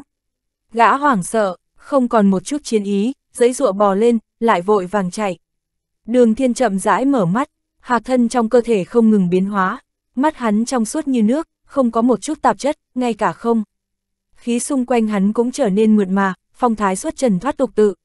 Nhiên sinh ra, oa ha ha, ta quả nhiên là thiếu niên như thần. Trong tĩnh mịch, đường thiên thình lình ngửa mặt lên trời cười dài, đột ngột. Như thế, trói tai như thế, khiến người ngạc nhiên như thế. Bầu không khí bị phá sạch sẽ, mọi người trợn mắt há hốc mồm nhìn tên đang. Chống nạnh ngửa mặt lên trời đắc ý cười giống thằng điên này, đầu bọn họ. chống rỗng, cái này, cái này, cái này, thay đổi cũng quá đột ngột mà. chương 261, bàn tay màu lam, sắc mặt hạc tái mét, đối với hạc trước giờ vốn tao nhã mà nói, biểu tình như vậy tuyệt đối hiếm thấy. Dù là kẻ vô tâm như lăng húc, thời điểm này cũng hoàn toàn câm nín mà ôm ngân thương, ngồi trên hỏa liệt điều kiểu không liên quan tới ta. Cả đội ngũ của hỏa mã nhỉ cũng nín lặng, tất cả đều do đường thiên gây ra. Oa, xem ta vô địch bơi chó này. Ha ha, quá đã, đường thiên bồng bình giữa không trung, bày ra tư thế bơi chó, trong miệng phát tiếng cười ha ha. Kỳ dị chính là, đường thiên vậy mà lại thật như đang bơi trong nước, bơi liên tục, chậm rãi tiến tới. Xem ta đạp không khí này, đường thiên quay mặt ra sau như bơi đứng, hai chân đạp loạn vào không khí, thân thể lại được đẩy lên. Xem ta trồng ngược nhảy này, ta nhảy, ta nhảy, ta nhảy nhảy. Đường thiên lại đổi thế trồng cây chuối, trên tay hắn như gắn lò xo, phốc phốc phốc, bật tới trước. Đường thiên một mình một người hăng tiết đùa giỡn, thỉnh thoảng phát ra đủ loại thanh âm quái dị. Cả người hắn bao phủ một tầng xương trắng nhàn nhạt, nhạt, có mấy phần cảm giác như tiên khí lượn lờ, chính là hạc thế. Hạc thế thần kỳ vô cùng, khi đường thiên dỡ tay nhấc chân có một chút vị đạo thông suốt tự nhiên. Trong lòng hạc vô cùng chấn động, hạc thế so với hạc thân kình thì hơn quá nhiều. Trong lịch sử hạc phái, chỉ duy nhất đệ tử đời đầu mới có người tu luyện ra hạc thế. Hạc thân kình là võ kỹ cơ bản, không lĩnh ngộ hạc thân kình, võ kỹ hạc phái đa số đều không thể tu luyện. Mà hạc thế, lại giống như một bút vẽ rồng điểm mắt, lĩnh ngộ hạc thế, tức võ kỹ phổ thông trên tay gã uy lực liền tăng gấp bội. Trong lòng hạc không ao ước đó là giả, nhưng gã là một thiếu niên rất có tu dưỡng, trong cốt cách dưỡng ra tư thái ôn hòa thong dong, dù rất muốn nhưng càng là hài lòng, nếu không có một loạt hành vi lúc sau của đường thiên. Ai ngờ, đường thiên như gặp đồ chơi mới liền quá chớn rồi. Đặc biệt hạc thế có thể giúp thân thể hắn lơ lửng, rất nhanh hắn nghĩ đến một loạt phương pháp, bơi chó, trồng chuối nhảy lò xo, làm hạc tức muốn chết. Truyền kỳ tuyệt học hạc thế, trong lòng hạc, đó là thứ thần thánh vô cùng. Đường thiên ngươi lĩnh ngộ ra hạc thế, cái này là khó bao nhiêu, may mắn bao nhiêu, quý trọng chút đi chứ, đem hạc thế dung nhập vào võ kỹ đi. Nỗi lòng hạc như thế, nhưng, tận mắt thấy đường thiên dùng tuyệt học chơi đùa, lấy truyền thừa hạc phái đùa bỡn như thế, hắn thế nào vui nổi. Hỗn đản này, một giờ sau, đường thiên như bãi bùn nhão nằm trên lưng ngựa, không động đậy nổi, vừa mới nãy hắn đem tất cả chân lực chơi đùa sạch luôn, đến sức bước đi cũng không còn, đành nằm trên lưng ngựa. Nhìn thấy bộ dáng chật vật này của đường thiên, Hạc cảm thấy thống khoái, thần tình khôi phục như thường, áp lực không còn. Hạc xoay mặt mỉm cười hỏi hỏa mã nhĩ, hỏa mã nhĩ tiểu thư biết những người này. Đoàn ngựa trùng trùng điệp điệp áp giải một đám tù binh, trong đám địch nhân, trừ Yến Cửu Chi chạy được, còn lại đều thành tù binh. Hồi bẩm công tử, bọn họ là người của bộ lạc thổ giã. Hỏa mã nhĩ cung kính đáp, ba người trước mắt có thực lực sâu không lường được, cường đại vô cùng. Thiết luật, cường giả vi tôn ở thế giới rất tàn khốc này càng rõ ràng. Huống chi, ba người đã cứu nàng một mạng, đường thiên chìm đắm trong hạc thế kỳ diệu, hạc thân trong cơ thể hắn, cứ như còn sống. Trong lúc hạc thân biến hóa, chân lực lưu chuyển không ngừng, chân lực phóng ra các hướng, va chạm rồi hóa thành từng cổ chân lực nhỏ như bụi ngay trong thân hạc. Đám người hạc nhìn thấy quanh thân thể đường thiên luôn có vũ khí nhàn nhạt, nhạt. Vũ khí này do chân lực nhỏ như bụi hợp thành, chúng bám vào sát cơ thể đường thiên, hình thành một tầng khí mỏng. Đường thiên cảm thấy kỳ lạ vô cùng, hắn càng cảm thụ sâu, càng cảm thấy trong tầng chân lực có rất nhiều huyền diệu. Nếu như hắn hiểu rõ hạc thế thêm một bước, tầng hơi mỏng này sẽ hóa thành vô hình. Hơn nữa khiến đường thiên cảm thấy rất ngoài ý muốn, hắn không thể dùng chân lực khống chế hạc thế, mà phải dùng võ hồn. Linh quang chợt lóe, hắn bỗng nhiên nghĩ đến kiếm vực ma phong kiếm của ẩn kiếm thánh kia. Chẳng lẽ, hạc thế là hồn vực, nhưng đường thiên ngay lập tức lắc đầu, hạc thế so với uy lực và biến hóa của hồn giới chính là một trời một vực. Nhưng mà có chút giống nhau, hơn nữa chịu sự khống chế của võ hồn, có khả năng là giai đoạn hồn vực sơ cấp. Suy đoán khó tin này, đường thiên ghi nhớ trong lòng, ngày sau chậm rãi xác minh. Theo thực lực hắn nâng lên, điều hắn có thể ỉ lại binh cũng ngày càng ít. Hắn phải chủ động lĩnh ngộ, tuy mình ngốc một chút, vậy thì dùng nhiều thời gian hơn. Chuyện khác cứ giao cho người thông minh hơn làm đi. Tâm tư đường thiên tiếp tục chìm đắm trong võ kỹ, chỗ tốt khác của hạc thế chính là khiến chân lực hắn khôi phục nhanh hơn rất nhiều. Hỏa mã nhĩ, ngươi cho là dựa vào ba thằng quát con này có thể bảo vệ thôn ngươi. Nam tử sử lang nha bổng cười nhạt, tân lão đại đã thống lĩnh sáu bộ lạc, muốn dựa vào mỗi cái bộ lạc hỏa xa của ngươi có thể chống lại ư. Đừng có nằm mộng, sắc mặt hỏa mã nhĩ thoáng âm trầm xuống, cáp chát nhĩ, không ngờ ngươi lại đầu phục tân lập. Không sai, cáp chát nhĩ ngạnh cổ trừng mắt, không chút nào tỏ ra yếu thế, nhất mạch xa lang chúng ta, qua nhiều năm như vậy, vì không có một lãnh tụ cường đại mới xa sút như hôm nay. Hỏa mã nhĩ, người vốn có có tư cách thượng vị, chỉ tiếc, người không chịu. Yến Cửu Chi cũng là tân lập mời tới. Hỏa mã nhĩ mặt âm trầm, cáp chát nhĩ cười nhạt, tân lập mời cũng không phải chỉ có Yến Cửu Chi.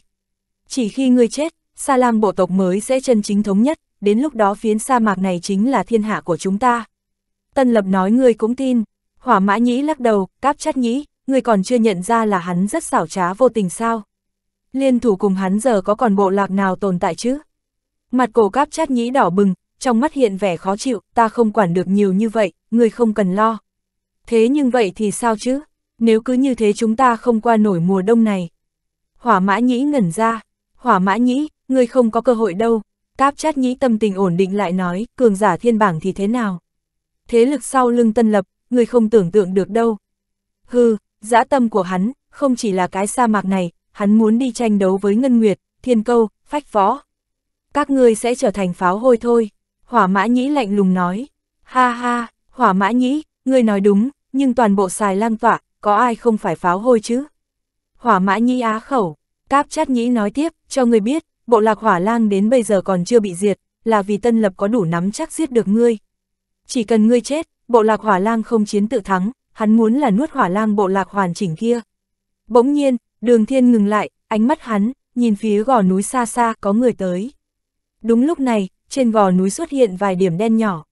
Hỏa mã nhĩ chấn động, nàng không thể tin nổi nhìn đường thiên, từ đây cách gò núi kia ít gì cũng mười dặm, đường thiên vậy mà lại có thể phát hiện địch nhân từ xa như vậy. Đối phương tới cực nhanh, tới là ba người, cầm đầu là một lão giả thần sắc hung ác nham hiểm, đôi mắt đỏ của lão thoạt nhìn rất đáng sợ.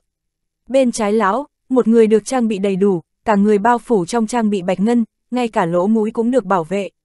Mà ở bên phải gã, là một thiếu nữ cầm roi xương, mặc bì trang màu đen, những chỗ lồi lõm trên người hiện lên rõ ràng. Roi xương trong tay nàng thập phần kỳ lạ, giống cột sống của một tinh hồn thú nào đó, rõ từng đốt cột sống. Tên nào đánh cửu chi bị thương, lão giả mắt đỏ trầm giọng hỏi, ta, đường thiên cười hì hì đứng ra, ngươi là sư phụ hắn.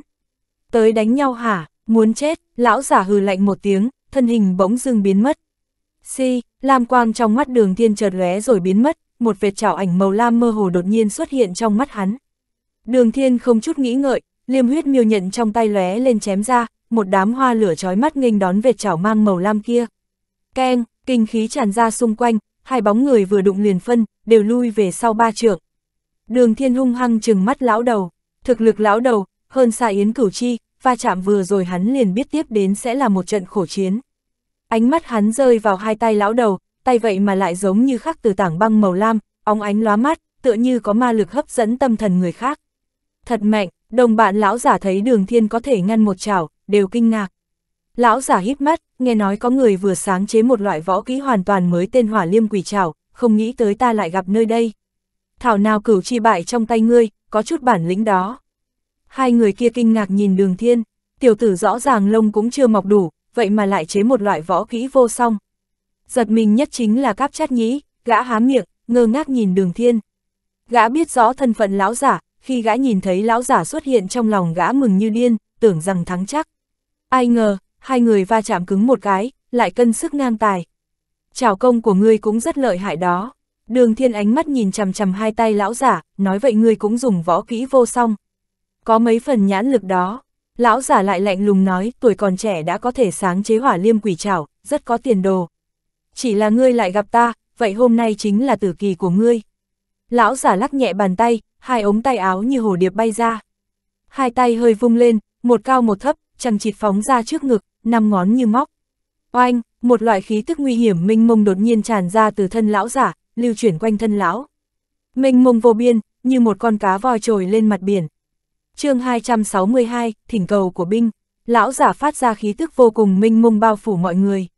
Một tiếng hừ lạnh vang lên, ngay sau đó, một thân ảnh cao lớn chắn trước mặt đường thiên, là đường nhất. Thần thái gã không giận vẫn uy, chảm mã đao trong tay tùy ý cắm trên đất, khí thế hợp thành một khối. Đồng tử lão giả co lại, động tác của hồn tướng này nhìn như tùy ý, nhưng toàn thân lại không có sơ hở. Khí thức của mình, vừa tiếp cận liền như đánh lên bức tường vô hình, không cách nào tiến thêm. Hồn tướng thật mạnh, hỏa mã nhĩ biến sắc, tâm thần lần nữa bị trùng kích. Trước khi đường nhất động thủ, nàng cho rằng đường nhất chỉ là hồn tướng bình thường, thật không ngờ lại lợi hại như thế. Đám người kia rốt cuộc có lai lịch thế nào? Nàng đoán không nổi, thực lực ba người đường thiên đã mạnh mẽ như vậy, còn có một gã hồn tướng còn lợi hại hơn. Đội ngũ như thế vì sao lại xuất hiện trên xài lang tọa này? Khí tức lão giả vừa phát ra đó đã gây ra phản ứng dây chuyền. Ánh mắt hạc ngưng tụ, bàn tay thon dài trắng nõn, vô thức nắm lấy chuôi kiếm. Thân hình gầy của gã hơi cong lại, cả người vận sức chờ phát động. Lang húc cầm thương, âm thanh song dương phong linh vang lên chậm rãi mà có tiết tấu phiêu đáng trong gió. Thân sắc gã ngưng trọng, hỏa diễm nhảy múa trong nhãn đồng màu vỏ quyết. Hai kẻ đi cùng lão giả cũng hừ lạnh một tiếng, buông ra khí tức. Oanh, võ sĩ mang cụ trang toàn thân như ngân dịch chảy xuôi, nửa người dưới xương mù màu bạc sáng lên, mơ hồ có thể thấy được nửa thân ngựa. Trên tay của gã, xuất hiện một cây lao màu bạc dài nửa thước. Bán nhân mã tỏa, lang húc hừ lạnh một tiếng, ngọn lửa trong mắt càng thêm rực sáng.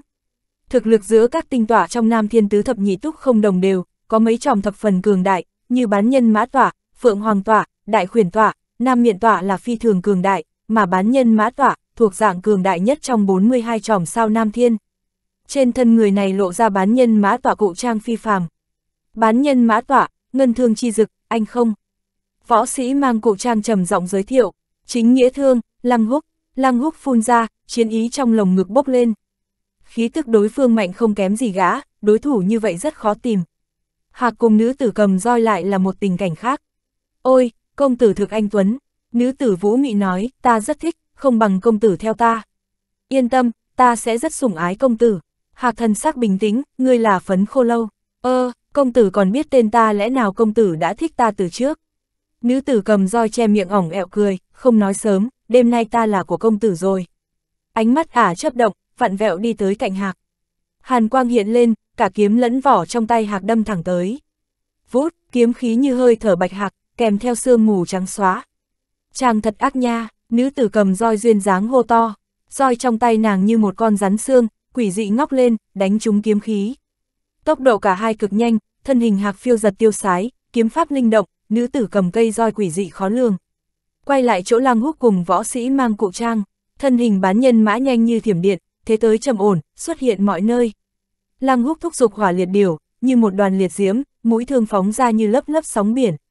Chỉ cần đối phương sơ suất, sẽ bị lọt trong ngay. Võ sĩ bán nhân mã cũng biết vậy nên cực kỳ kiêng kỵ.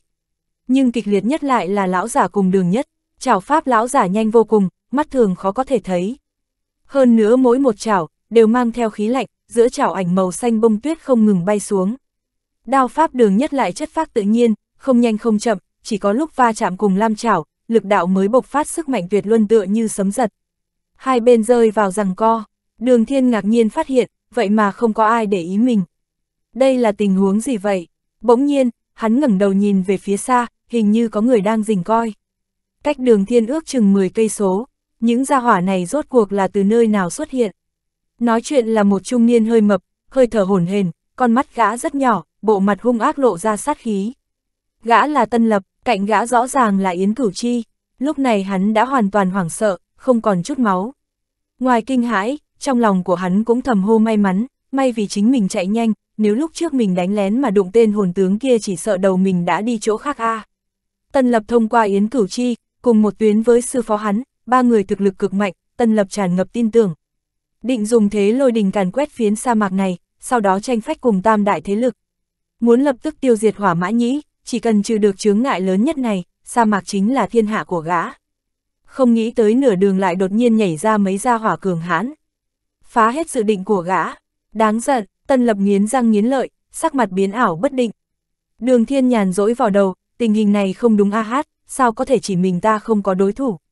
Thiếu niên như thần phải là người được đánh đầu a hát, đường thiên nhìn quanh, hy vọng có thể lại nhảy ra một gã viện binh địch nhân. Nhưng bốn phía hoàn toàn im ắng, lúc này, bỗng nhiên trong đầu vang lên tiếng của binh, tiểu đường đường, có chuyện thương lượng cùng ngươi. Đại thúc, có chuyện gì? Khục, binh có chút ngại ngùng mở miệng, cái kia, ngươi có thể đánh hạ vài bộ lạc hay không? Đánh hạ vài bộ lạc, đường thiên ngây ngẩn, đại thúc, ngươi muốn làm gì? Ngươi như thế nào hứng thú với bộ lạc xài lang nhân? Ngươi không phải đang lo việc ở trại huấn luyện sao? Đúng vậy, chuyện ở trại huấn luyện rất thuận lợi, ngữ khí binh phấn chấn, nhưng rất nhanh, liền không có ý tứ nói, nhưng là, hiện tại có một vấn đề. Vấn đề gì? Đường thiên khó hiểu hỏi. Không có người, binh bất đắc dĩ nói, ngoại trừ hai tên tiểu tử mặc ra đưa tới, trại huấn luyện không có lấy một người. Không thể nào, đường thiên kinh hô, đại thúc, người kiềm chế lâu như vậy. Lâu như vậy còn chưa chiêu mộ, binh xấu hổ vô cùng, không phải ta kiềm chế. Thời điểm binh đoàn trước kia, cho tới bây giờ không cần lo vấn đề nhận người, vốn là mọi người chen nhau tìm đến. Nhưng hiện tại, cũng có mấy người tới, nhưng thiên phú rất tệ. Đường thiên hiểu được, đại thúc là muốn chọn người trong xài lang nhân. Xài lang nhân kỳ thật rất được, sống ở hoàn cảnh khó khăn, tính tình bọn họ đều rất cứng cỏi, chịu khổ không tồi.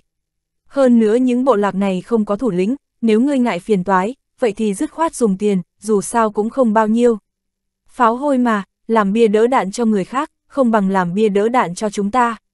Binh rất vô sỉ nói, nghe rằng phải tốn tiền, đường thiên liền từ chối, này, đại thúc, lúc trước ngươi đã tiêu rất nhiều rồi. Ta chỉ mới nói mà, binh lặng lẽ nói, dù sao ta chỉ cần người, người hãm hại, lừa gạt hay trộm ta mặc kệ. Đường thiên bị binh vô sỉ lẫn vô lại nói sợ ngây người, đại thúc, ngươi là người như vậy. Binh ho nhẹ một, thời thế đặc biệt phải dùng kế đặc biệt thôi, hơn nữa, chút khó khăn như vậy sao làm khó được thiếu niên như thần đâu này. Chỉ có gặp nhiều chuyện khó khăn như vậy mới thể hiện được không ai bằng ngươi a hát. Đường thiên vui vẻ ra mặt, ngươi nói đúng, ngươi có thể nghĩ như vậy, tiến bộ rất lớn nha. Lúc này binh vì trại huấn luyện đã hoàn toàn vứt bỏ tiết tháo, lại tăng bốc trước kia ta đối với điểm này nhận thức không đủ, nhưng ta đã hối hận tỉnh ngộ. Ta rốt cuộc hiểu được, chỉ có dựa vào thiếu niên như thần, vinh quang của binh đoàn mới có thể một lần nữa lên cao. Một cái xài lang tỏa, một cái sa mạc, đối với thiếu niên như thần mà nói, dễ như trở bàn tay, ai ngăn nổi đường thiếu niên. Đường thiên khóe miệng lệch tận mang tai, giả vờ giả vịt nói, lời đại thúc hơi khoa trương, nhưng một chút cũng không sai đó. Hắn do dự một chút, nhưng như vậy sẽ tốn nhiều thời gian. Ta còn muốn đến Nam Thập tự tọa sớm một chút, binh giống như đã sớm tính tới, nịnh nọt nói yên tâm. Chúng ta đã lên kế hoạch chiến đấu, tuyệt không lãng phí thời gian. Ngữ khí bỗng đổi thành bình thường nói, hơn nữa, chúng ta dò la được, Phách Vũ đang tập kết, mục tiêu của bọn hắn chính là chúng ta đó. Phách Vũ, đường thiên không hiểu nổi, chúng ta cùng bọn hắn không có qua lại gì mà. Không biết, binh trầm giọng nói, đây là tin tức đinh đang thăm dò được. Đường thiên nghĩ đến mấy đợt tập kích trước, chẳng lẽ những người kia do phách vũ phái tới. Nghĩ nửa ngày cũng không ra, dứt khoát bỏ qua một bên rồi nói, được rồi, âm mưu quỷ kế gì gì đó các ngươi lo đi, ta phụ trách đánh nhau là được. Thiếu niên anh minh, binh lại nịnh, bỗng nhiên, xa xa truyền đến tiếng vó ngựa, bụi bốc đầy trời. Một đội ngũ hơn 500 người ngựa hùng hổ hướng bên này giết qua. Là nhân mã của Tân Lập, hỏa mã nhĩ sắc mặt đại biến. Đường thiên đã sớm rãnh rỗi đến chán ngắt rồi, có địch đến tinh thần hắn phấn chấn, không chút do dự ra lệnh vứt tù binh trên đất. Hỏa mã nhĩ khẽ giật mình, trong đầu hiện lên một ý nghĩ, chẳng lẽ. Ánh mắt mọi người nhìn về hỏa mã nhĩ, nàng cắn răng một cái, ném. ầm ầm ầm, tù binh đều bị vứt trên mặt đất. Đường thiên xoay mặt nhìn về phía hỏa mã nhĩ, người còn có thể chiến đấu. Quả nhiên, trên đời lại có người dũng mãnh như thế. Hỏa mã nhĩ kích động, trên mặt bỗng dâng bay lên một mảng hồng, nàng không chút do dự gật đầu, có thể. Mang theo người còn khỏe mạnh của ngươi theo ta. Đường thiên bỏ lại những lời này, liền lên ngựa, tay trái hắn cầm huyết sông thuẫn, tay phải cầm song đầu lang nha bổng, nó là chiến lợi phẩm lúc trước thắng huynh đệ họ hoa, hắn một mực giữ lại. Hôm nay là lúc cho nó uống máu, cầm lang nha bổng chỉ phía trước, gầm lên như tiếng lôi đình quanh quẩn tại tầng mây. Giết, lão giả phát ra khí tức vô cùng minh mông bao phủ mọi người. Một tiếng hừ lạnh vang lên, ngay sau đó, một thân ảnh cao lớn chắn trước mặt đường thiên, là đường nhất. Thần thái gã không giận vẫn uy, chả mã đao trong tay tùy ý cắm trên đất, khí thế hợp thành một khối. Đồng tử lão giả co lại, động tác của hồn tướng này nhìn như tùy ý, nhưng toàn thân lại không có sơ hở. Khí tức của mình, vừa tiếp cận liền như đánh lên bức tường vô hình, không cách nào tiến thêm. Hồn tướng thật mạnh, hỏa mã nhĩ biến sắc, tâm thần lần nữa bị trùng kích. Trước khi đường nhất động thủ, nàng cho rằng đường nhất chỉ là hồn tướng bình thường, thật không ngờ lại lợi hại như thế. Đám người kia rốt cuộc có lai lịch thế nào? Nàng đoán không nổi, thực lực ba người đường thiên đã mạnh mẽ như vậy, còn có một gã hồn tướng còn lợi hại hơn. Đội ngũ như thế vì sao lại xuất hiện trên xài lang tọa này? Khí tức lão giả vừa phát ra đó đã gây ra phản ứng dây chuyền. Ánh mắt hạc ngưng tụ, bàn tay thon dài trắng nõn, vô thức nắm lấy chuôi kiếm. Thân hình gầy của gã hơi cong lại, cả người vận sức chờ phát động. Lang húc cầm thương, âm thanh song dương phong linh vang lên chậm rãi mà có tiết tấu phiêu đáng trong gió. Thân sắc gã ngưng trọng, hỏa diễm nhảy múa trong nhãn đồng màu vỏ quyết. Hai kẻ đi cùng lão giả cũng ngừ lạnh một tiếng, buông ra khí tức. Oanh, võ sĩ mang cụ trang toàn thân như ngân dịch chảy xuôi, nửa người dưới xương mù màu bạc sáng lên, mơ hồ có thể thấy được nửa thân ngựa. Trên tay của gã, xuất hiện một cây lao màu bạc dài nửa thước. Bán nhân mã tỏa, lang húc hừ lạnh một tiếng, ngọn lửa trong mắt càng thêm rực sáng. Thực lực giữa các tinh tỏa trong Nam Thiên Tứ Thập Nhị Túc không đồng đều, có mấy tròm thập phần cường đại, như bán nhân mã tỏa, phượng hoàng tỏa, đại khuyển tỏa, nam miện tỏa là phi thường cường đại, mà bán nhân mã tỏa, thuộc dạng cường đại nhất trong 42 tròm sao Nam Thiên. Trên thân người này lộ ra bán nhân mã tọa cụ trang phi phàm. Bán nhân mã tọa, ngân thương chi dực, anh không. Võ sĩ mang cụ trang trầm giọng giới thiệu, chính nghĩa thương, lăng húc, lăng húc phun ra, chiến ý trong lồng ngực bốc lên. Khí tức đối phương mạnh không kém gì gã, đối thủ như vậy rất khó tìm. Hạc cùng nữ tử cầm roi lại là một tình cảnh khác. Ôi, công tử thực anh Tuấn, nữ tử Vũ Mị nói, ta rất thích, không bằng công tử theo ta. Yên tâm, ta sẽ rất sủng ái công tử. Hạc thần sắc bình tĩnh, ngươi là phấn khô lâu. Ơ, công tử còn biết tên ta lẽ nào công tử đã thích ta từ trước. Nữ tử cầm roi che miệng ỏng ẹo cười, không nói sớm, đêm nay ta là của công tử rồi. Ánh mắt ả chấp động, vặn vẹo đi tới cạnh hạc. Hàn quang hiện lên, cả kiếm lẫn vỏ trong tay hạc đâm thẳng tới. Vút, kiếm khí như hơi thở bạch hạc, kèm theo sương mù trắng xóa. Chàng thật ác nha, nữ tử cầm roi duyên dáng hô to, roi trong tay nàng như một con rắn xương, quỷ dị ngóc lên, đánh trúng kiếm khí. Tốc độ cả hai cực nhanh, thân hình hạc phiêu giật tiêu sái, kiếm pháp linh động, nữ tử cầm cây roi quỷ dị khó lường. Quay lại chỗ lang húc cùng võ sĩ mang cụ trang, thân hình bán nhân mã nhanh như thiểm điện, thế tới trầm ổn, xuất hiện mọi nơi. Lăng húc thúc dục hỏa liệt điều, như một đoàn liệt diễm, mũi thương phóng ra như lớp lớp sóng biển. Chỉ cần đối phương sơ suất, sẽ bị lọt trong ngay. Võ sĩ bán nhân mã cũng biết vậy nên cực kỳ kiêng kỵ. Nhưng kịch liệt nhất lại là lão giả cùng đường nhất, chảo pháp lão giả nhanh vô cùng, mắt thường khó có thể thấy. Hơn nữa mỗi một chảo, đều mang theo khí lạnh, giữa chảo ảnh màu xanh bông tuyết không ngừng bay xuống. Đao pháp đường nhất lại chất phát tự nhiên, không nhanh không chậm, chỉ có lúc va chạm cùng lam chảo, lực đạo mới bộc phát sức mạnh tuyệt luân tựa như sấm giật.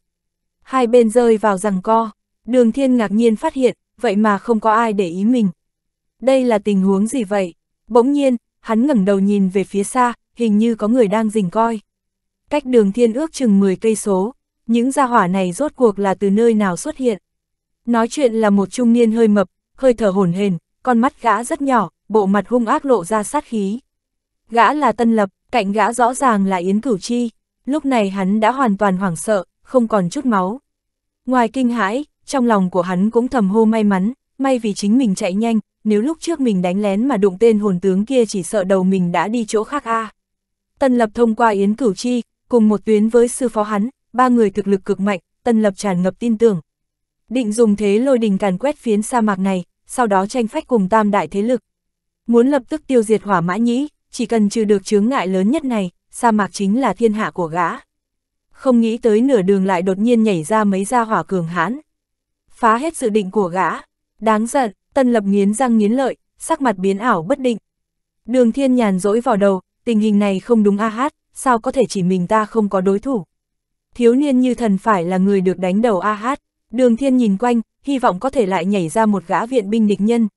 Nhưng bốn phía hoàn toàn im ắng, lúc này, bỗng nhiên trong đầu vang lên tiếng của binh, tiểu đường đường, có chuyện thương lượng cùng ngươi. Đại thúc, có chuyện gì? Khục, binh có chút ngại ngùng mở miệng, cái kia, ngươi có thể đánh hạ vài bộ lạc hay không? Đánh hạ vài bộ lạc, đường thiên ngây ngẩn, đại thúc, ngươi muốn làm gì? Ngươi như thế nào hứng thú với bộ lạc xài lang nhân? Ngươi không phải đang lo việc ở trại huấn luyện sao? Đúng vậy, chuyện ở trại huấn luyện rất thuận lợi, ngữ khí bình phấn chấn, nhưng rất nhanh, liền không có ý tứ nói, nhưng là, hiện tại có một vấn đề. Vấn đề gì? Đường thiên khó hiểu hỏi. Không có người, binh bất đắc dĩ nói, ngoại trừ hai tên tiểu tử mặc ra đưa tới, trại huấn luyện không có lấy một người. Không thể nào, đường thiên kinh hô, đại thúc, người kiềm chế lâu như vậy. Lâu như vậy còn chưa chiêu mộ, binh xấu hổ vô cùng, không phải ta kiềm chế. Thời điểm binh đoàn trước kia, cho tới bây giờ không cần lo vấn đề nhận người, vốn là mọi người chen nhau tìm đến. Nhưng hiện tại, cũng có mấy người tới, nhưng thiên phú rất tệ. Đường thiên hiểu được, đại thúc là muốn chọn người trong xài lang nhân. Xài lang nhân kỳ thật rất được, sống ở hoàn cảnh khó khăn, tính tình bọn họ đều rất cứng cỏi, chịu khổ không tồi. Hơn nữa những bộ lạc này không có thủ lĩnh, nếu ngươi ngại phiền toái, vậy thì dứt khoát dùng tiền, dù sao cũng không bao nhiêu.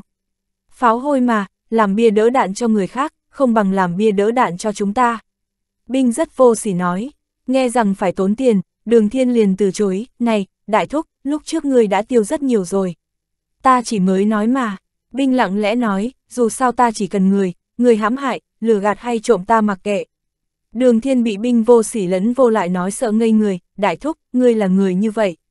Binh ho nhẹ một, thời thế đặc biệt phải dùng kế đặc biệt thôi, hơn nữa, chút khó khăn như vậy sao làm khó được thiếu niên như thần đâu này. Chỉ có gặp nhiều chuyện khó khăn như vậy mới thể hiện được không ai bằng ngươi a hát. Đường thiên vui vẻ ra mặt, ngươi nói đúng, ngươi có thể nghĩ như vậy, tiến bộ rất lớn nha. Lúc này binh vì trại huấn luyện đã hoàn toàn vứt bỏ tiết tháo, lại tăng bốc trước kia ta đối với điểm này nhận thức không đủ, nhưng ta đã hối hận tỉnh ngộ. Ta rốt cuộc hiểu được, chỉ có dựa vào thiếu niên như thần, vinh quang của binh đoàn mới có thể một lần nữa lên cao.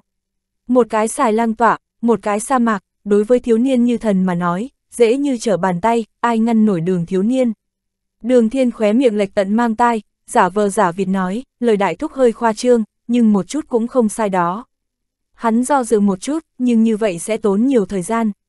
Ta còn muốn đến Nam Thập tự tọa sớm một chút, binh giống như đã sớm tính tới, nịnh nọt nói, yên tâm. Chúng ta đã lên kế hoạch chiến đấu, tuyệt không lãng phí thời gian. Ngữ khí bỗng đổi thành bình thường nói, hơn nữa, chúng ta dò la được, Phách Vũ đang tập kết, mục tiêu của bọn hắn chính là chúng ta đó. Phách Vũ, đường thiên không hiểu nổi, chúng ta cùng bọn hắn không có qua lại gì mà. Không biết, binh trầm giọng nói, đây là tin tức đinh đang thăm dò được. Đường thiên nghĩ đến mấy đợt tập kích trước, chẳng lẽ những người kia do phách vũ phái tới. Nghĩ nửa ngày cũng không ra, dứt khoát bỏ qua một bên rồi nói, được rồi, âm mưu quỷ kế gì gì đó các ngươi lo đi, ta phụ trách đánh nhau là được. Thiếu niên anh minh, binh lại nịnh, bỗng nhiên, xa xa truyền đến tiếng vó ngựa, bụi bốc đầy trời. Một đội ngũ hơn 500 người ngựa hùng hổ hướng bên này giết qua. Là nhân mã của Tân Lập, hỏa mã nhĩ sắc mặt đại biến. Đường thiên đã sớm rãnh rỗi đến chán ngắt rồi, có địch đến tinh thần hắn phấn chấn, không chút do dự ra lệnh vứt tù binh trên đất. Hỏa mã nhĩ khẽ giật mình, trong đầu hiện lên một ý nghĩ, chẳng lẽ. Ánh mắt mọi người nhìn về hỏa mã nhĩ, nàng cắn răng một cái, ném. Âm âm âm, tù binh đều bị vứt trên mặt đất. Đường thiên xoay mặt nhìn về phía hỏa mã nhĩ, người còn có thể chiến đấu. Quả nhiên, trên đời lại có người dũng mãnh như thế. Hỏa mã nhĩ kích động, trên mặt bỗng dâng bay lên một mảng hồng, nàng không chút do dự gật đầu, có thể. Mang theo người còn khỏe mạnh của ngươi theo ta. Đường thiên bỏ lại những lời này, liền lên ngựa, tay trái hắn cầm huyết sông thuẫn, tay phải cầm song đầu lang nha bổng, nó là chiến lợi phẩm lúc trước thắng huynh đệ họ hoa, hắn một mực giữ lại. Hôm nay là lúc cho nó uống máu, cầm lang nha bổng chỉ phía trước, gầm lên như tiếng lôi đình quanh quẩn tại tầng mây. Giết, lão giả phát ra khí tức vô cùng minh mông bao phủ mọi người. Một tiếng hừ lạnh vang lên, ngay sau đó, một thân ảnh cao lớn chắn trước mặt đường thiên, là đường nhất. Thần thái gã không giận vẫn uy, chảm mã đao trong tay tùy ý cắm trên đất, khí thế hợp thành một khối. Đồng tử lão giả co lại, động tác của hồn tướng này nhìn như tùy ý, nhưng toàn thân lại không có sơ hở. Khí tức của mình, vừa tiếp cận liền như đánh lên bức tường vô hình, không cách nào tiến thêm. Hồn tướng thật mạnh, hỏa mã nhĩ biến sắc, tâm thần lần nữa bị trùng kích. Trước khi đường nhất động thủ, nàng cho rằng đường nhất chỉ là hồn tướng bình thường, thật không ngờ lại lợi hại như thế. Đám người kia rốt cuộc có lai lịch thế nào? Nàng đoán không nổi, thực lực ba người đường thiên đã mạnh mẽ như vậy, còn có một gã hồn tướng còn lợi hại hơn. Đội ngũ như thế vì sao lại xuất hiện trên xài lang tọa này? Khí tức lão giả vừa phát ra đó đã gây ra phản ứng dây chuyền. Ánh mắt hạc ngưng tụ, bàn tay thon dài trắng nõn, vô thức nắm lấy chuôi kiếm. thân hình gầy của gã hơi cong lại, cả người vận sức chờ phát động. lang húc cầm thương, âm thanh song dương phong linh vang lên chậm rãi mà có tiết tấu phiêu đáng trong gió. Thân sắc gã ngưng trọng, hỏa diễm nhảy múa trong nhãn đồng màu vỏ quyết. Hai kẻ đi cùng lão giả cũng hừ lạnh một tiếng, buông ra khí tức. Oanh, võ sĩ mang cụ trang toàn thân như ngân dịch chảy xuôi, nửa người dưới xương mù màu bạc sáng lên, mơ hồ có thể thấy được nửa thân ngựa. Trên tay của gã, xuất hiện một cây lao màu bạc dài nửa thước. Bán nhân mã tỏa, lăng húc hừ lạnh một tiếng, ngọn lửa trong mắt càng thêm rực sáng. Thực lực giữa các tinh tỏa trong Nam Thiên Tứ Thập Nhị Túc không đồng đều, có mấy tròm thập phần cường đại, như bán nhân mã tỏa, phượng hoàng tỏa, đại khuyển tỏa, nam miện tỏa là phi thường cường đại, mà bán nhân mã tỏa, thuộc dạng cường đại nhất trong 42 tròm sao Nam Thiên. Trên thân người này lộ ra bán nhân mã tỏa cụ trang phi phàm. Bán nhân mã tỏa, ngân thương chi dực, anh không. Võ sĩ mang cụ trang trầm giọng giới thiệu, chính nghĩa thương, lăng húc, lăng húc phun ra, chiến ý trong lồng ngực bốc lên. Khí tức đối phương mạnh không kém gì gã, đối thủ như vậy rất khó tìm. Hạc cùng nữ tử cầm roi lại là một tình cảnh khác. Ôi, công tử thực anh Tuấn, nữ tử Vũ Mị nói, ta rất thích, không bằng công tử theo ta. Yên tâm, ta sẽ rất sủng ái công tử. Hạc thần sắc bình tĩnh, ngươi là phấn khô lâu. Ơ, công tử còn biết tên ta lẽ nào công tử đã thích ta từ trước. Nữ tử cầm roi che miệng ỏng ẹo cười, không nói sớm, đêm nay ta là của công tử rồi. Ánh mắt ả chấp động, vặn vẹo đi tới cạnh hạc. Hàn quang hiện lên, cả kiếm lẫn vỏ trong tay hạc đâm thẳng tới. Vút, kiếm khí như hơi thở bạch hạc, kèm theo sương mù trắng xóa. Chàng thật ác nha, nữ tử cầm roi duyên dáng hô to, roi trong tay nàng như một con rắn xương, quỷ dị ngóc lên, đánh trúng kiếm khí. Tốc độ cả hai cực nhanh, thân hình hạc phiêu giật tiêu sái, kiếm pháp linh động, nữ tử cầm cây roi quỷ dị khó lường. Quay lại chỗ lang húc cùng võ sĩ mang cụ trang, thân hình bán nhân mã nhanh như thiểm điện, thế tới trầm ổn, xuất hiện mọi nơi. Lăng húc thúc dục hỏa liệt điều, như một đoàn liệt diễm, mũi thương phóng ra như lớp lớp sóng biển. Chỉ cần đối phương sơ suất, sẽ bị lọt trong ngay. Võ sĩ bán nhân mã cũng biết vậy nên cực kỳ kiêng kỵ. Nhưng kịch liệt nhất lại là lão giả cùng đường nhất, chảo pháp lão giả nhanh vô cùng, mắt thường khó có thể thấy. Hơn nữa mỗi một chảo, đều mang theo khí lạnh, giữa chảo ảnh màu xanh bông tuyết không ngừng bay xuống. Đao pháp đường nhất lại chất phát tự nhiên, không nhanh không chậm, chỉ có lúc va chạm cùng lam chảo, lực đạo mới bộc phát sức mạnh tuyệt luân tựa như sấm giật. Hai bên rơi vào rằng co, đường thiên ngạc nhiên phát hiện, vậy mà không có ai để ý mình. Đây là tình huống gì vậy? Bỗng nhiên, hắn ngẩng đầu nhìn về phía xa, hình như có người đang rình coi. Cách đường thiên ước chừng 10 cây số, những gia hỏa này rốt cuộc là từ nơi nào xuất hiện. Nói chuyện là một trung niên hơi mập, hơi thở hổn hển, con mắt gã rất nhỏ, bộ mặt hung ác lộ ra sát khí. Gã là Tân Lập, cạnh gã rõ ràng là Yến Cửu Chi, lúc này hắn đã hoàn toàn hoảng sợ, không còn chút máu. Ngoài kinh hãi, trong lòng của hắn cũng thầm hô may mắn, may vì chính mình chạy nhanh, nếu lúc trước mình đánh lén mà đụng tên hồn tướng kia chỉ sợ đầu mình đã đi chỗ khác a. Tân Lập thông qua Yến Cửu Chi, cùng một tuyến với sư phó hắn, ba người thực lực cực mạnh, Tân Lập tràn ngập tin tưởng. Định dùng thế lôi đình càn quét phiến sa mạc này, sau đó tranh phách cùng tam đại thế lực. Muốn lập tức tiêu diệt hỏa mã nhĩ, chỉ cần trừ được chướng ngại lớn nhất này, sa mạc chính là thiên hạ của gã. Không nghĩ tới nửa đường lại đột nhiên nhảy ra mấy gia hỏa cường hãn. Phá hết dự định của gã. Đáng giận, tân lập nghiến răng nghiến lợi, sắc mặt biến ảo bất định. Đường thiên nhàn dỗi vào đầu, tình hình này không đúng a hát, sao có thể chỉ mình ta không có đối thủ. Thiếu niên như thần phải là người được đánh đầu a hát, đường thiên nhìn quanh, hy vọng có thể lại nhảy ra một gã viện binh địch nhân. Nhưng bốn phía hoàn toàn im ắng, lúc này, bỗng nhiên trong đầu vang lên tiếng của binh, tiểu đường đường, có chuyện thương lượng cùng ngươi. Đại thúc, có chuyện gì? Khục, binh có chút ngại ngùng mở miệng, cái kia, ngươi có thể đánh hạ vài bộ lạc hay không? Đánh hạ vài bộ lạc, đường thiên ngây ngẩn, đại thúc, ngươi muốn làm gì? Ngươi như thế nào hứng thú với bộ lạc xài lang nhân? Ngươi không phải đang lo việc ở trại huấn luyện sao? Đúng vậy, chuyện ở trại huấn luyện rất thuận lợi, ngữ khí binh phấn chấn, nhưng rất nhanh, liền không có ý tứ nói, nhưng là, hiện tại có một vấn đề. Vấn đề gì? Đường thiên khó hiểu hỏi. Không có người, binh bất đắc dĩ nói, ngoại trừ hai tên tiểu tử mặc ra đưa tới, trại huấn luyện không có lấy một người. Không thể nào, đường thiên kinh hô, đại thúc, người kiềm chế lâu như vậy. Lâu như vậy còn chưa chiêu mộ, binh xấu hổ vô cùng, không phải ta kiềm chế. Thời điểm binh đoàn trước kia, cho tới bây giờ không cần lo vấn đề nhận người, vốn là mọi người chen nhau tìm đến. Nhưng hiện tại, cũng có mấy người tới, nhưng thiên phú rất tệ. Đường thiên hiểu được, đại thúc là muốn chọn người trong xài lang nhân. Xài lang nhân kỳ thật rất được, sống ở hoàn cảnh khó khăn, tính tình bọn họ đều rất cứng cỏi, chịu khổ không tồi. Hơn nữa những bộ lạc này không có thủ lĩnh, nếu ngươi ngại phiền toái, vậy thì dứt khoát dùng tiền, dù sao cũng không bao nhiêu. Pháo hôi mà, làm bia đỡ đạn cho người khác, không bằng làm bia đỡ đạn cho chúng ta. Binh rất vô sỉ nói, nghe rằng phải tốn tiền, đường thiên liền từ chối, này, đại thúc, lúc trước ngươi đã tiêu rất nhiều rồi. Ta chỉ mới nói mà, binh lặng lẽ nói, dù sao ta chỉ cần người, người hãm hại, lừa gạt hay trộm ta mặc kệ. Đường thiên bị binh vô sỉ lấn vô lại nói sợ ngây người, đại thúc, ngươi là người như vậy. Binh ho nhẹ một, thời thế đặc biệt phải dùng kế đặc biệt thôi, hơn nữa, chút khó khăn như vậy sao làm khó được thiếu niên như thần đâu này. Chỉ có gặp nhiều chuyện khó khăn như vậy mới thể hiện được không ai bằng ngươi a hát. Đường thiên vui vẻ ra mặt, ngươi nói đúng, ngươi có thể nghĩ như vậy, tiến bộ rất lớn nha. Lúc này binh vì trại huấn luyện đã hoàn toàn vứt bỏ tiết tháo, lại tân bốc trước kia ta đối với điểm này nhận thức không đủ, nhưng ta đã hối hận tỉnh ngộ. Ta rốt cuộc hiểu được, chỉ có dựa vào thiếu niên như thần, vinh quang của binh đoàn mới có thể một lần nữa lên cao. Một cái xài lang tỏa, một cái sa mạc, đối với thiếu niên như thần mà nói, dễ như trở bàn tay, ai ngăn nổi đường thiếu niên.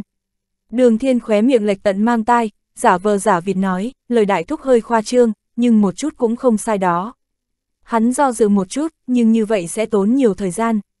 Ta còn muốn đến Nam Thập tự tọa sớm một chút, binh giống như đã sớm tính tới, nịnh nọt nói, yên tâm.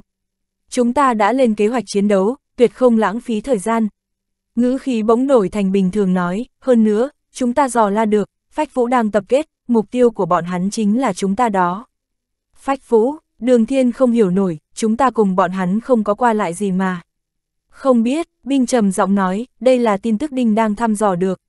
Đường thiên nghĩ đến mấy đợt tập kích trước, chẳng lẽ những người kia do Phách Vũ phái tới. Nghĩ nửa ngày cũng không ra, dứt khoát bỏ qua một bên rồi nói, được rồi, âm mưu quỷ kế gì gì đó các ngươi lo đi, ta phụ trách đánh nhau là được. Thiếu niên anh minh, binh lại nịnh, bỗng nhiên, xa xa truyền đến tiếng vó ngựa, bụi bốc đầy trời. Một đội ngũ hơn 500 người ngựa hùng hổ hướng bên này giết qua. Là nhân mã của Tân Lập, hỏa mã nhĩ sắc mặt đại biến. Đường thiên đã sớm rãnh rỗi đến chán ngắt rồi, có địch đến tinh thần hắn phấn chấn, không chút do dự ra lệnh vứt tù binh trên đất. Hỏa mã nhĩ khẽ giật mình, trong đầu hiện lên một ý nghĩ, chẳng lẽ. Ánh mắt mọi người nhìn về hỏa mã nhĩ, nàng cắn răng một cái, ném. Âm âm âm, tù binh đều bị vứt trên mặt đất. Đường thiên xoay mặt nhìn về phía hỏa mã nhĩ, người còn có thể chiến đấu. Quả nhiên, trên đời lại có người dũng mãnh như thế. Hỏa mã nhĩ kích động, trên mặt bỗng dâng bay lên một mảng hồng, nàng không chút do dự gật đầu, có thể. Mang theo người còn khỏe mạnh của ngươi theo ta. Đường thiên bỏ lại những lời này, liền lên ngựa, tay trái hắn cầm huyết sông thuẫn, tay phải cầm song đầu lang nha bổng, nó là chiến lợi phẩm lúc trước thắng huynh đệ họ hoa, hắn một mực giữ lại. Hôm nay là lúc cho nó uống máu, cầm lang nha bổng chỉ phía trước, gầm lên như tiếng lôi đình quanh quẩn tại tầng mây. Giết, chương 263, thế như trẻ tre, đường thiên cưới ngựa cũng chẳng giỏi giang gì, hắn làm chỉ là không té khỏi ngựa. Có điều đây là chiến mã đã huấn luyện kỹ, tốc độc như gió. Khi Tân Lập nhìn thấy đường thiên dẫn hỏa mã nhĩ và hơn 20 người, cứ như vậy mà lao lên, hắn đã để ý nhưng... Ngu ngốc, thiên bảng võ giả thì sao nào? 500 người tinh nhuệ hắn mang đến, võ giả thiên lộ đã hơn 70. Như vậy, cường giả thiên bảng tới cũng chỉ có đường chết. Gã dẫn người ra, vì không chắc ba cường giả phe mình có thể thắng. Với tân lập trận này là bắt buộc phải thắng. Đôi mắt nhỏ của hắn nheo lại thành đường, sát cơ lẫm liệt, vung tay quát, giết. Giết, đám người đi theo gã hùa theo, mặt mày dữ tợn. Thấy đối phương ngày càng gần, ánh mắt đường thiên trở nên hung ác, đột nhiên nhảy lên. Động tác này khiến mọi người cảm thấy rất ngoài ý muốn, vài kẻ phía trước đội ngũ, hoàn toàn không nghĩ tới đường thiên sẽ nhảy lên thế. Mượn nhờ lực ngựa đang lao tới, cú nhảy này, nhanh vô cùng. Đối phương cảm thấy đường thiên như một ngôi sao băng rơi trước mặt bọn họ. Tên võ giả đứng mũi chịu sào vừa sợ vừa nâng kiếm lên. Oanh, một luồng sức mạnh như bài sơn đảo hải truyền qua kiếm tới như bị một thú khổng lồ đụng phải, gã kêu cũng không kịp. Thân thể gã như trái banh bị đá văng đi với tốc độ kinh người, mấy tên phía sau gã cũng không trốn kịp. Bang bang, một loạt tiếng kêu thảm vang lên, miệng phun máu té khỏi ngựa. Hỗn loạn, lợi dụng đội hình đối phương đang mất trật tự, đầu ngón chân nhấn một cái lướt lên, lang nha bổng lại kéo dưới đất, cầy ra một cái rãnh sâu. Chân lực phiêu đáng trong cơ thể, Nếu lúc này đường thiên để ý sẽ phát hiện trên lang nha bổng cũng bao phủ một hơi xương mỏng trắng, lượn lờ bất định. Hạc thế, một bước sau cùng lún sâu vào đất, thân thể hơi dừng lại, lại trong nháy mắt biến mất. Cùng lúc đó, trên không trung vang vọng tiếng kêu trầm hùng. Hạc thế lượn lờ quanh lang nha bổng, uy thế khiếp người. Ong, hoành tảo thiên quân, nơi lang nha bổng quét qua, chỉ cần hơi chạm phải liền như bị sét đánh, thổ huyết bay ra ngoài. Có ba người văng ra ngoài trong tiếng kêu thảm thiết, đường thiên cảm thấy sảng khoái vô cùng, lực lượng cơ thể cùng chân lực dưới hạc thế không ngờ lại dung hợp hoàn mỹ, chiêu thức bình thường vô cùng ở trong tay hắn cũng có uy lực kinh người. Mà lúc này, những người khác cũng phản ứng lại, vài bóng người từ trên lưng ngựa bắn lên hướng phía hắn. Đường thiên thở ra một hơi, đánh lang nha bổng một vòng va chạm với vài vũ khí. Oanh, chân đường thiên trầm xuống lún vào đất, mấy người kia cảm thấy như đánh lên một bức tường dày, ngực tức, chân lực không thông, lòng không khỏi hoảng sợ. Sự dũng mãnh của đường thiên đã vượt quá tưởng tượng bọn họ. Khi nhìn lại vị trí đường thiên đứng, con người lại bị co rút. Người đâu rồi, không tốt, còn không chờ bọn họ kịp phản ứng. Một thân ảnh như quỷ mị chợt lóe lên rồi biến mất. Vài vòi máu tươi bắn vào không trung, bốn gã võ giả bịt cổ họng, mắt trợn trừng, trên mặt hiện vẻ không thể tin cùng sợ hãi thật đậm. Đường thiên đã dùng tới liêm huyết miêu nhận, không chung quanh quẩn như có tiếng mèo kêu đêm, thân hình phiêu hốt như quỷ mị, hắn như luôn có thể đoán được công kích của đối phương. Công kích của hắn rất quỷ dị, bỗng nhiên biến mất rồi xuất hiện tại góc chết của đối thủ, nhanh vô cùng. 15 giây, hắn lại đem đội ngũ đối phương giết thông sang bên kia. Song phương đối mặt chiến đấu, nhanh vô cùng, với đường thiên mà nói, đây chính là chiến trường thiên nhiên. Chiến đấu như vậy, thời gian phản ứng ít đến đáng thương. Nhưng đường thiên có trực giác cường đại, giúp hắn sớm cảm nhận được nguy hiểm cùng ý đồ công kích của đối phương. Đám người hỏa mã nhĩ sau hắn, lúc này mỗi người đều ngẩn ngơ. Bọn họ vậy mà lại xuyên thủng đội hình đối phương. Này, việc này sao có thể? Giết, một tiếng rít gào lại đột nhiên vang bên tai họ, kéo bọn họ từ trong mộng ra. Quay đầu nhìn lại, thân ảnh kia vậy mà lại quay thân giết ngược trở lại. Há, tiếng hít lạnh đồng loạt vang lên, trên đời này vậy mà có người hung hãn đến như vậy. Hỏa mã nhĩ bị hành động của đường thiên kích thích chiến ý, hít sâu một hơi, ghim ngựa quay đầu, giết. Tân lập vừa sợ vừa giận, đợt chạm chán vừa nãy, phe mình đã tổn thất 20 người. 500 người này gã tuyển chọn rất kỹ, mỗi người đều như bảo bối, đảo mắt liền chết hơn 20, làm sao mà gã không đau lòng cho được. Đường thiên biểu hiện ra thực lực cường đại, khiến gã cảm thấy hoảng sợ. Nhưng khi đường thiên đánh ngược lại, đây rõ ràng là khinh miệt, làm tân lập cảm thấy một dòng máu sông thẳng đầu. Gã đã bao giờ bị khinh thường như thế, trong mắt tân lập hiện lên vẻ tàn nhẫn, trầm giọng quát lớn, dừng. Đội ngũ đột ngột ngừng lại, bọn họ vốn là quân tinh nhuệ, thực lực mạnh mẽ, lại sinh hoạt tại sa mạc, thuật cưỡi ngựa vô cùng thành thạo. Đội sau bỏ ngựa nghênh địch, tân lập chấn định hơn xa người thường, đường thiên lúc này cách bọn họ đã không đến 10 trượng. Đội ngũ võ giả phía sau lập tức bỏ ngựa, lao về phía đường thiên. Tân lập đã đúng vì cưỡi ngựa tuy nhanh nhưng không có tác dụng với đường thiên, còn biến thành lá chắn yểm hộ cho hắn. Đợt công kích vừa rồi, có vài người chết do đường thiên từ dưới ngựa đối phương giết lên. Trong nháy mắt đường thiên đã lao vào đội ngũ bỏ ngựa. Chân lực hắn tuy chỉ có lục giai, vốn cũng không có ưu thế gì, nhưng từ khi lĩnh ngộ hạc thế, uy lực võ kỹ liền tăng gấp bội.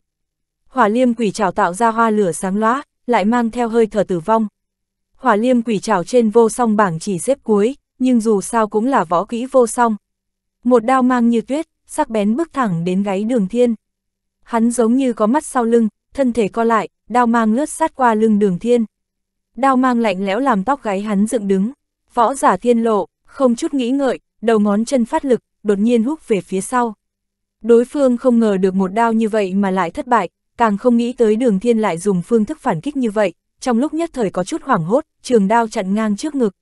Choang, đao thuẫn tương giao, huyết sung thuẫn làm trạch trường đao đi, lại tiếp tục đánh thẳng vào ngực tên võ giả thiên lộ. Phanh, một luồng sức mạnh không thể cản đụng vào ngực gã. Vẻ mặt gã cứng lại, phốc, phun ra một ngụm máu, thân thể bay lên trời, bay xa bảy tám trượng, khi rơi xuống đất thì hơi thở cũng đã tắt. Lần va chạm vừa rồi, hạc thân trong cơ thể đường thiên biến ảo ba lần, lực bạo phát cường hãn vô cùng. Đường thiên phát hiện, vũ kỹ cơ sở của mình trong hỗn chiến không ngờ thực dụng vô cùng. Qua hạc thế những võ kỹ này đầy tính sát thương, một điểm hàn mang điểm tới, trường thương như rồng, lại là một võ giả thiên lộ, người này xuất thủ nhằm đúng lúc lực cũ đường thiên vừa hết chưa kịp sinh lực mới. Nhưng gã không ngờ, hạc thân trong cơ thể đường thiên vẫn luôn biến ảo không ngừng. Xoẹt, một giải hỏa hoa lửa nở ra, bắn chuẩn xác trúng mũi thương. Đường Thiên đi chung với Lăng Húc cao thủ sử thương tuy hắn không luyện thương pháp, nhưng từng đối chiến cùng Lăng Húc nhiều lần lắm, hắn rất rõ làm sao để đối phó võ giả dùng thương. Hỏa liêm quỷ trảo đánh lên mũi thương, trong nháy mắt chân lực cuộn trào vào thân thương. Tên võ giả dùng thương chỉ cảm giác như cầm thanh côn sắt nóng. Gã hoảng sợ, vô thức thôi động chân lực, muốn áp chế luồng chân lực kia. Hư ảnh chợt lóe, đường thiên như quỷ mị xuất hiện trước mặt gã. Lòng gã nhảy dựng, hoảng hốt lui về sau, nhưng, ngực đau xót. Trước mắt trống rỗng, gã đứng sướng tại chỗ, một lát sau, mờ mịt cúi đầu nhìn lỗ máu ở ngực. Ý thức xa dần, thân thể ngã ra sau, bịch, xung quanh tất cả mọi người bị sự hung hãn đường thiên chấn nhiếp. Mới chút xíu đã giết hai võ giả thiên lộ, võ giả kinh khủng như thế, bọn họ bao giờ gặp qua đâu. Huống hồ, tên kia chỉ là một vị thiếu niên 16, 17 tuổi. Trên mặt đường thiên đúng là còn mấy phần trẻ con, thế nhưng đánh nhau vô cùng thành thục. Dù ở đây có những kẻ lăn lộn vài chục năm cũng tự thấy không bằng. Lẽ nào ra hỏa này, từ trong bụng mẹ đã chiến đấu sao? Trên đời sao lại có tên biến thái như thế? Hai gã võ giả thiên lộ, đều mới đối mặt đã bị đánh chết, không có gì kích thích hơn điều này. Những võ giả thiên lộ khác đều sợ, ngoại trừ 20 võ giả tuyệt đối trung thành với Tân Lập, 50 người kia là Tân Lập mời từ các bộ lạc khác. Những tên này đều là kẻ già đời, lại càng sợ chết hơn người thường. Bây giờ, đương nhiên là để người khác làm tiêu bất chân lực tên biến thái này mới là vương đạo. Bọn họ chủ động tránh, khiến khí thế đường thiên càng cao. Võ giả thiên lộ với đường thiên đã không còn uy hiếp, võ giả khác càng không phải. Nơi đường thiên đi qua, người ngựa ngã như lúa, tân lập biến sắc, lúc này gã mới phát hiện, mình đã đánh giá thấp thiếu niên này. Những võ giả mời chào kia làm gì có tâm tử chiến. Bình thường thì uy mãnh vô cùng, một khi đụng chuyện khó khăn lại không ổn tí nào. Nhưng gã cũng biết, giờ không phải lúc hối hận, gã nghiêm mặt trầm giọng quát thiết vệ xa kỵ. Xuống ngựa, theo ta lên, 20 hộ vệ quanh Tân Lập liền xuống ngựa, đi trước bảo vệ Tân Lập, không nói tiếng nào. Những võ giả khác dồn dập nhường ra một con đường, 20 thiết vệ xa kỵ đều là võ giả thiên lộ, là lực lượng hạch tâm trong tay Tân Lập. Đường thiên nheo mắt lại, ngươi nhịn không được rồi sao? chương 264, khổng tước chân lực, trong chiến đấu, đường thiên chẳng hề ngốc dù chỉ một chút. Ngay từ đầu, mục tiêu của hắn chính là Tân Lập. Dù cho hắn có trâu bò thế nào đi nữa cũng không thể giết sạch 500 người. Biện pháp duy nhất để đánh bại đội ngũ này chính là đánh thẳng vào trung tâm. Dường như không biết đến những kẻ địch xung quanh, đường thiên chậm rãi tiến tới như đang đi dạo. Vầng sáng bạc dưới chân hiện lên, một vệt sáng bạc từ thân thể hắn lan ra phía trước với tốc độ mắt thường có thể thấy được, sau đó vầng sáng bạc lóe lên rồi hóa thành một bộ giáp bạc bao lấy cơ thể hắn. Khổng tước lam, khi phần cuối cùng trên cơ thể đường thiên được khổng tước lam phủ lấy, hạc thế lượn lờ như một lớp không khí mỏng, chen giữa cụ trang và da của đường thiên. Thân hình đường thiên chấn động, hắn dường như bị kéo vào một không gian vô tận, ngay phía sau hắn là một hình ảnh hư ảo màu lam cao hơn ba trượng, có thể nhìn ra hình dáng của nó chính là khổng tước. Hình ảnh mặc dù mơ hồ, nhưng lại có thể cảm nhận được sự lạnh lùng và cao ngạo từ khổng tước. Đây là, nguyên nhân là do hạc thế sao? Trong lòng đường thiên vô cùng kinh ngạc, hắn có thể cảm giác được võ hồn của mình và khổng tước có sự khác biệt hơn so với trước đây. Tâm niệm đường thiên xoay chuyển, lửa võ hồn hóa thành một đường lửa bạc rồi nhập vào hư ảnh phía sau. Khi đường lửa bạc kia nối với hư ảnh màu lam, một luồng chân lực lạnh như băng từ hư ảnh khổng lồ màu lam đằng sau cuồn cuộn rót vào cơ thể hắn. Thân hình đường thiên lại rung lên một lần nữa, chân lực khổng tước lạnh như băng kia kết hợp với hạc chân lực. Hạc chân lực sắc bén như nhiễm phải xương băng, trở nên lạnh lẽo đến kinh người. Chân lực khổng tước, trong lòng đường thiên vô cùng chấn động, hắn vốn cho rằng mình vận dụng khổng tước đã đến mức tận cùng. Không ngờ lúc này bản thân hắn lại có cảm giác ngay cả cánh cửa cũng chưa chạm được. Chân lực trong cơ thể đường thiên cuồn cuộn chưa từng thấy. Lúc này hắn mới sâu sắc cảm nhận được sự khác biệt giữa cơ quan võ giáp và cụ trang. Bản thân cụ trang vốn ẩn chứa lực lượng cực mạnh, chúng vì pháp tắc của tinh tọa mà sinh ra, tự thành nhất thể. Trải qua vô số năm tháng, nó đã tích lũy được lực lượng kinh người. Bản thân nó như một kho báu cực lớn, võ giả cần phải kích hoạt mới có thể mở được kho báu này. Cơ quan võ giáp lại hoàn toàn không giống như thế. Dù nó có dùng đến tinh thạch, nhưng lực lượng căn bản của nó vẫn đến từ chân lực trong cơ thể võ giả. Nó như một cái máy khuếch đại, đem hiệu quả chân lực của võ giả nhân lên nhiều lần. Biến hóa của khổng tước khiến đường thiên hoàn toàn chấn động. Đường thiên quyết định đợi khi nào thích hợp sẽ hỏi tỉnh hào đại ca một chút. Hiểu biết của hắn về cụ trang và võ hồn còn quá ít. Nhưng khổng tước làm dị biến vào lúc này chính là đưa than sưởi trong ngày tuyết rơi. chân lực khổng tước lạnh như băng chạy trong cơ thể đường thiên. Tinh thần đường thiên từng chút trầm tĩnh trở lại, tựa như đang ngâm mình trong băng. Không biết từ lúc nào, trên mặt đường thiên xuất hiện biểu tình hờ hững và lạnh như băng của khổng tước. Nhếch miệng cười cũng trở nên lãnh khốc hơn, cụ trang cấp bạch ngân, con người tân lập co lại, nhưng lúc này sát ý trong lòng gã đã nổi lên, ý chí kiên quyết không gì có thể làm dao động. Lúc này đây, tân lập như đang đứng bên bờ vực thẳm, nếu lùi thêm một bước chính là xương thịt không còn. Đừng nói đường thiên có thêm một cụ trang cấp bạch ngân, dù là thêm bất kỳ thứ gì khác thì trận chiến này vẫn không thể lùi. Đường thiên đột một ra tốc, tần suất xài bước nhanh hơn nhưng không gây ra một tiếng động nào. Nửa thân trên của đường thiên không chút động đậy, như một vầng hào quang bạc thư thả. Miêu nhận hạ xuống như lá liễu đong đưa trước gió, mũi nhận nở ra những điểm sáng màu lam u tối nhỏ bằng hạt gạo. Tựa như khổng tước lam, Tân Lập chỉ cảm thấy một cảm giác nguy hiểm cực độ bao quanh đầu óc. Tâm niệm biến chuyển, cố gắng chấn định, quát khẽ, giết. 22 tên thiết vệ xa kỵ giống như cơn lũ cát lặng lẽ cuốn tới đường thiên. Đường thiên tựa như không biết gì, vẫn hờ hững bước đi, chỉ có những điểm sáng ở đầu ngón tay sáng hơn vài phần. Trường côn trong tay một thiết vệ xa kỵ múa lên, vù, tiếng giết trầm thấp vang lên, côn ảnh màu đất đột một chùm lấy đường thiên. Trường đao trong tay một thiết vệ xa kỵ khác như một vệt sáng. Đao mang trắng như tuyết, mỏng như tơ nhện quấn lấy đường thiên. Một tên thiết vệ xa kỵ khác trợn mắt giận dữ, thở phì phò, lưỡi búa trong tay tựa như một giải lụa đỏ bổ tới đường thiên. Đúng lúc này, sâu trong mắt đường thiên đột nhiên lóe lên một điểm sáng nhỏ như đầu kim, tựa như một ngôi sao trong hư không vô tận của đồng tử bay ra. Những biến hóa xung quanh không thể thoát khỏi trực giác của đường thiên. Nguy hiểm không chỉ nằm ở ba kẻ kia, mà còn có hai tên thiết vệ xa kỵ bên trái, một thiết vệ xa kỵ cầm cung thanh đồng kéo căng, mũi tên lạnh như băng nhắm thẳng vào đường thiên. Chẳng những thế, phía trước và bên phải còn có ba tên thiết vệ xa kỵ cầm ám khí có thể ném ra bất kỳ lúc nào. Mọi con đường đều bị phong tỏa, tấm lưới lớn này dường như không có lấy một kẽ hở. Đường thiên nhếch miệng cười, nhưng hắn không hề biết rằng nụ cười này của mình lạnh lẽo đến mức nào. Thân hình hắn đột nhiên biến mất, trong tích tắc hắn đã xông vào côn ảnh dày đặc lăng lệ. Tên thiết vệ xa kỳ kia mừng rỡ, côn pháp gã luyện tên là Thôn Sơn Côn, lấy sức công phá mạnh mẽ làm sở trường. Đối phương xông vào lưới côn chính là cơ hội cho gã. Gã đột nhiên quát lớn, chân lực toàn thân được kích động, màu sắc côn mang càng đậm thêm mấy phần, như một cái miệng khổng lồ nuốt trọn đường thiên. Sát chiêu của thôn Sơn Côn, thôn Sơn hàm nhạc, gã nhìn có vẻ thô lỗ nhưng tâm tư lại rất tinh tế. Gã không cuồng vọng đến mức nghĩ rằng một chiêu này của mình có thể đánh bại đường thiên. Thực lực kinh khủng mà đường thiên biểu hiện ra vừa rồi, khiến gã vô cùng chấn kinh. Gã biết chắc chắn mình không phải là đối thủ của đường thiên. Ý đồ của gã chính là dùng một chiêu mạnh nhất của mình mang đến một chút phiền phức cho đường thiên, từ đó tạo thêm cơ hội cho đồng đội chiến thắng. Bọn chúng chiếm ưu thế về số lượng, chỉ cần đường thiên để lộ một kẽ hở thì bọn chúng cầm chắc thắng lợi. Những kẻ xung quanh cũng hiểu được ý đồ của gã, trên mặt cả bọn không khỏi lộ ra vẻ vui mừng. Sự lợi hại của một chiêu thôn sơn hàm nhạc này, mọi người đều vô cùng rõ ràng. Mấy tên thiết vệ xa kỵ xung quanh đều vẫn sẵn sát chiêu đợi thời cơ, chỉ chờ một chiêu ngạnh kháng của đường thiên. Thời điểm chân lực tạm thời dừng lại chính là một cơ hội tuyệt hảo. Đột nhiên, một điểm sáng hai màu lam bạc bất ngờ sáng lên trong côn mang màu đất đậm. Phốc, một tia sáng lam nháy mắt xuyên qua côn ảnh rồi cắm thẳng vào yết hầu tên thiết vệ đang dùng côn. Tên thiết vệ dùng côn mở to hai mắt, trong đôi mắt đang lồi ra hiện lên vẻ không thể tin rằng bản thân không thể ngăn cản đối phương dù chỉ một chiêu. Giết, thiết vệ xa kỵ xung quanh hoảng sợ, lúc này cũng không để ý gì nữa. Sát chiêu chờ sẵn đồng loạt đánh tới đường thiên, thân hình đường thiên lại biến mất một lần nữa. Tàng phong, có thể trở thành thẻ tử kim đủ để nói lên bộ võ kỹ này có thể thăng thành võ kỹ vô song, dễ dàng thấy được sự lợi hại của nó.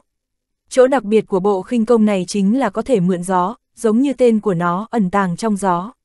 Vận dụng của nó đối với gió, hay còn gọi là sự lưu chuyển của không khí đạt đến mức độ không thể tưởng tượng được. Càng là địa hình phức tạp, hỗn chiến thì sự lưu chuyển của không khí càng thêm phức tạp, gió sẽ càng thêm quỷ dị khó dò. Đường Thiên vốn cho rằng đây là bộ khinh công để ẩn giấu bản thân, nhưng đây chính là một lợi thế trong hỗn chiến. Các loại khí lưu đa dạng và hỗn loạn, hay bất cứ dòng khí lưu nhỏ nào cũng đều trở thành vật giúp đỡ Đường Thiên. Đường Thiên như một bóng ma, quỷ dị xuất hiện phía sau tên cung thủ. Tên cung thủ giật mình phát hiện, gương mặt biến sắc. Không chờ gã phản ứng thì lưng đã truyền tới cảm giác đau đớn. Lực lượng trong cơ thể nháy mắt bị rút đi, mềm nhũn té xuống đất. Trường diện trở nên hỗn loạn, không một ai thấy được đường thiên làm sao thoát khỏi sát chiêu kia. Nhất là không những đường thiên không kéo giãn cự ly với chúng mà còn nhảy tới tiếp cận. trận hình lập tức bị phá hỏng, huyết sung thuẫn trên tay trái đường thiên tiếp lấy một chùy khiến cả cánh tay nóng lên. Lực lượng mạnh thật, dưới sự dẫn động của hạc thế, hạc thân trong cơ thể biến ảo không ngừng. Chân lực cuồn cuộn không dứt vô cùng dồi dào. Đường thiên đột nhiên phát hiện không ngờ bản thân không cần lấy lại hơi. Thời gian trước, lúc hạc thân tản ra rồi tụ lại thì nhất định phải đổi một hơi. Bây giờ, hạc thân trong cơ thể luôn luôn biến ảo. Chân lực lưu chuyển không ngừng, hòa nhập vào cơ thể thoải mái không nói nên lời. Chân lực khổng tước rất kỳ lạ, lạnh lẽo vô cùng, chạy dọc theo cơ thể của hắn. Ánh mắt hắn trở nên lạnh lùng, không chút ấm áp nào. Đầu óc hắn trở nên sinh động, chiến trường lớn như thế, nhưng bất kỳ một chi tiết dù nhỏ thế nào cũng đều rõ ràng. Cảm giác khống chế toàn diện chưa từng có xuất hiện trong đầu hắn. Nương theo lực của một chùy này, đường thiên tựa như trượt trên mặt băng lui về phía sau. Bỗng nhiên hắn trùng người xuống, phía sau như có mắt, lướt qua đao mang của tên thiết vệ xa kỵ này. Miêu nhận trong tay lặng lẽ lướt qua eo đối phương, một tiếng hét thảm vang lên, tên thiết vệ xa kỵ này ôm lấy bụng, máu tươi từ vết rách chảy ra không ngừng, trên mặt gã hiện lên vẻ thống khổ và sợ hãi. Đường thiên không hề có ý định dừng lại, tay trái vung huyết sung thuẫn lên, một lưỡi đao khí bay ra khỏi thuẫn, bắn thẳng tới một tên thiết vệ xa kỵ. Kẻ này vô cùng kinh hãi luống cuống đánh ra thiết quyền. Hai quyền mang ngưng thực lần lượt chạm vào đao khí. Bốp, bốp, đao khí biến mất, kẻ này thở phào một hơi. Bỗng nhiên sắc mặt gã đột biến, trong tầm mắt gã không còn bóng dáng của đường thiên.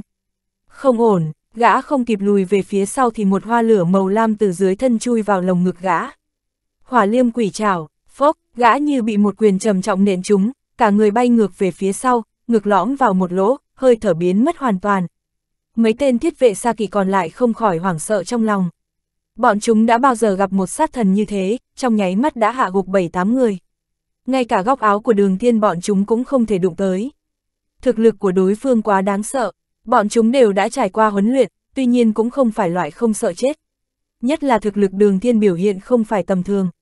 Tất cả khiến bọn chúng dường như không thấy một chút cơ hội thắng lợi. Mấy tên thiết vệ xa kỵ liếc nhìn nhau, trong mắt hiện lên vẻ kiên quyết, đồng thời giống giận rồi lao về phía đường thiên. Bỗng nhiên, mấy điểm sáng bừng lên, khiến bọn chúng như rơi vào trong đêm hè. Tiếng chém giết xa dần, tất cả trở nên yên tĩnh. Sát chiêu của võ kỹ vô song, quỷ vương hỏa lưu huỳnh. Thời gian như bị đóng băng tại khoảnh khắc này. 10 con đom đóm bay ra từ 10 đầu ngón tay của đường thiên, sau đó vẽ ra 10 vệt sáng bạc linh động, chậm chậm rơi vào đoàn người. Tinh thần lạnh lùng do chân lực khổng tước cảm nhiễm của đường thiên chợt nhảy lên, đôi môi lãnh khốc khẽ thốt lên như núi băng tan chảy. Nở ra đi, quỷ vương hỏa lưu huỳnh, chương 265, đường nhất chất vấn. 10 đốm sáng xinh đẹp vô hại chui vào cơ thể 10 tên thiết vệ xa kỵ.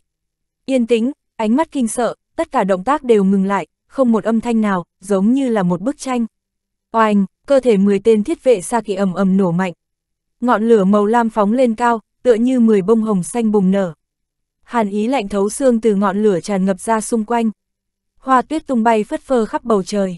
Trong lúc núi rung đất chuyển và hoa lửa màu lam nở rộ đó, hoa tuyết lượn lờ theo gió lướt tới thân ảnh màu bạc đang đứng thẳng đằng kia, khiến cho chiến trường thảm liệt thêm phần thêm mỹ. Chân lực khổng tước vẫn chảy xuôi trong cơ thể hắn, nhưng vẻ lạnh lùng trong mắt đường thiên lại biến mất không còn, thay vào đó chính là ánh nắng ấm áp sau mùa đông giá rét. Một màn này mang theo một thứ ma lực khó nói nên lời, khắc sâu vào tâm khảm mỗi người. Chiến trường lớn như thế lại không hề phát ra bất kỳ âm thanh nào.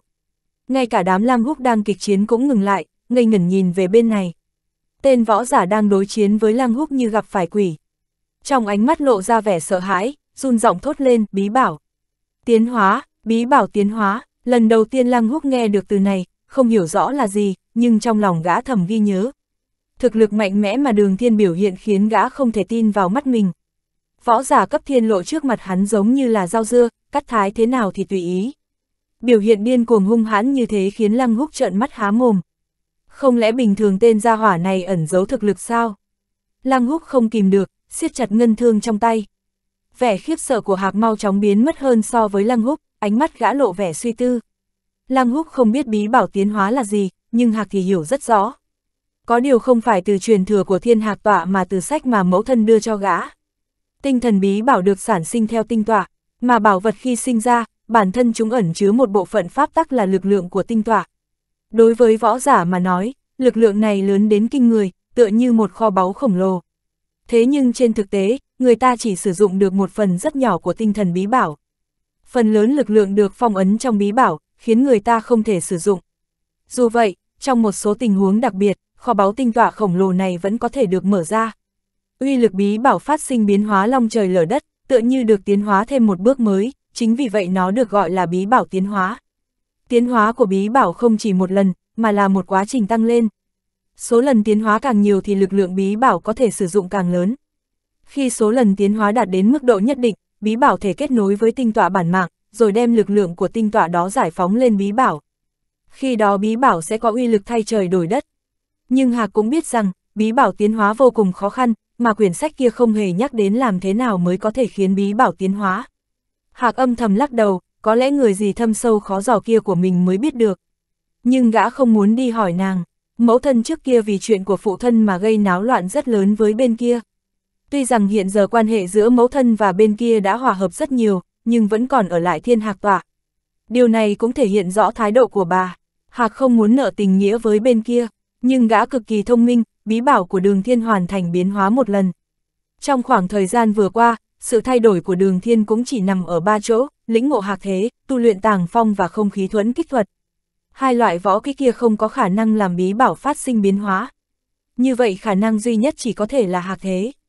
Ghi chép về hạc thế rất ít, nhưng hạc nhớ kỹ một điều, chính là hạc thế có thể kết nối với võ hồn. Và trùng hợp là gã cũng biết rằng bản chất của bí bảo tiến hóa chính là võ hồn bên trong bí bảo tiến hóa. Gã nhanh chóng đưa ra một suy đoán khó tin, chính hạc thế làm cho bí bảo của đường thiên tiến hóa. Suy đoán này làm gã cảm thấy phấn chấn. Từ khi đường thiên lĩnh ngộ được hạc thế, mỗi ngày hạc đều nghiền ngẫm.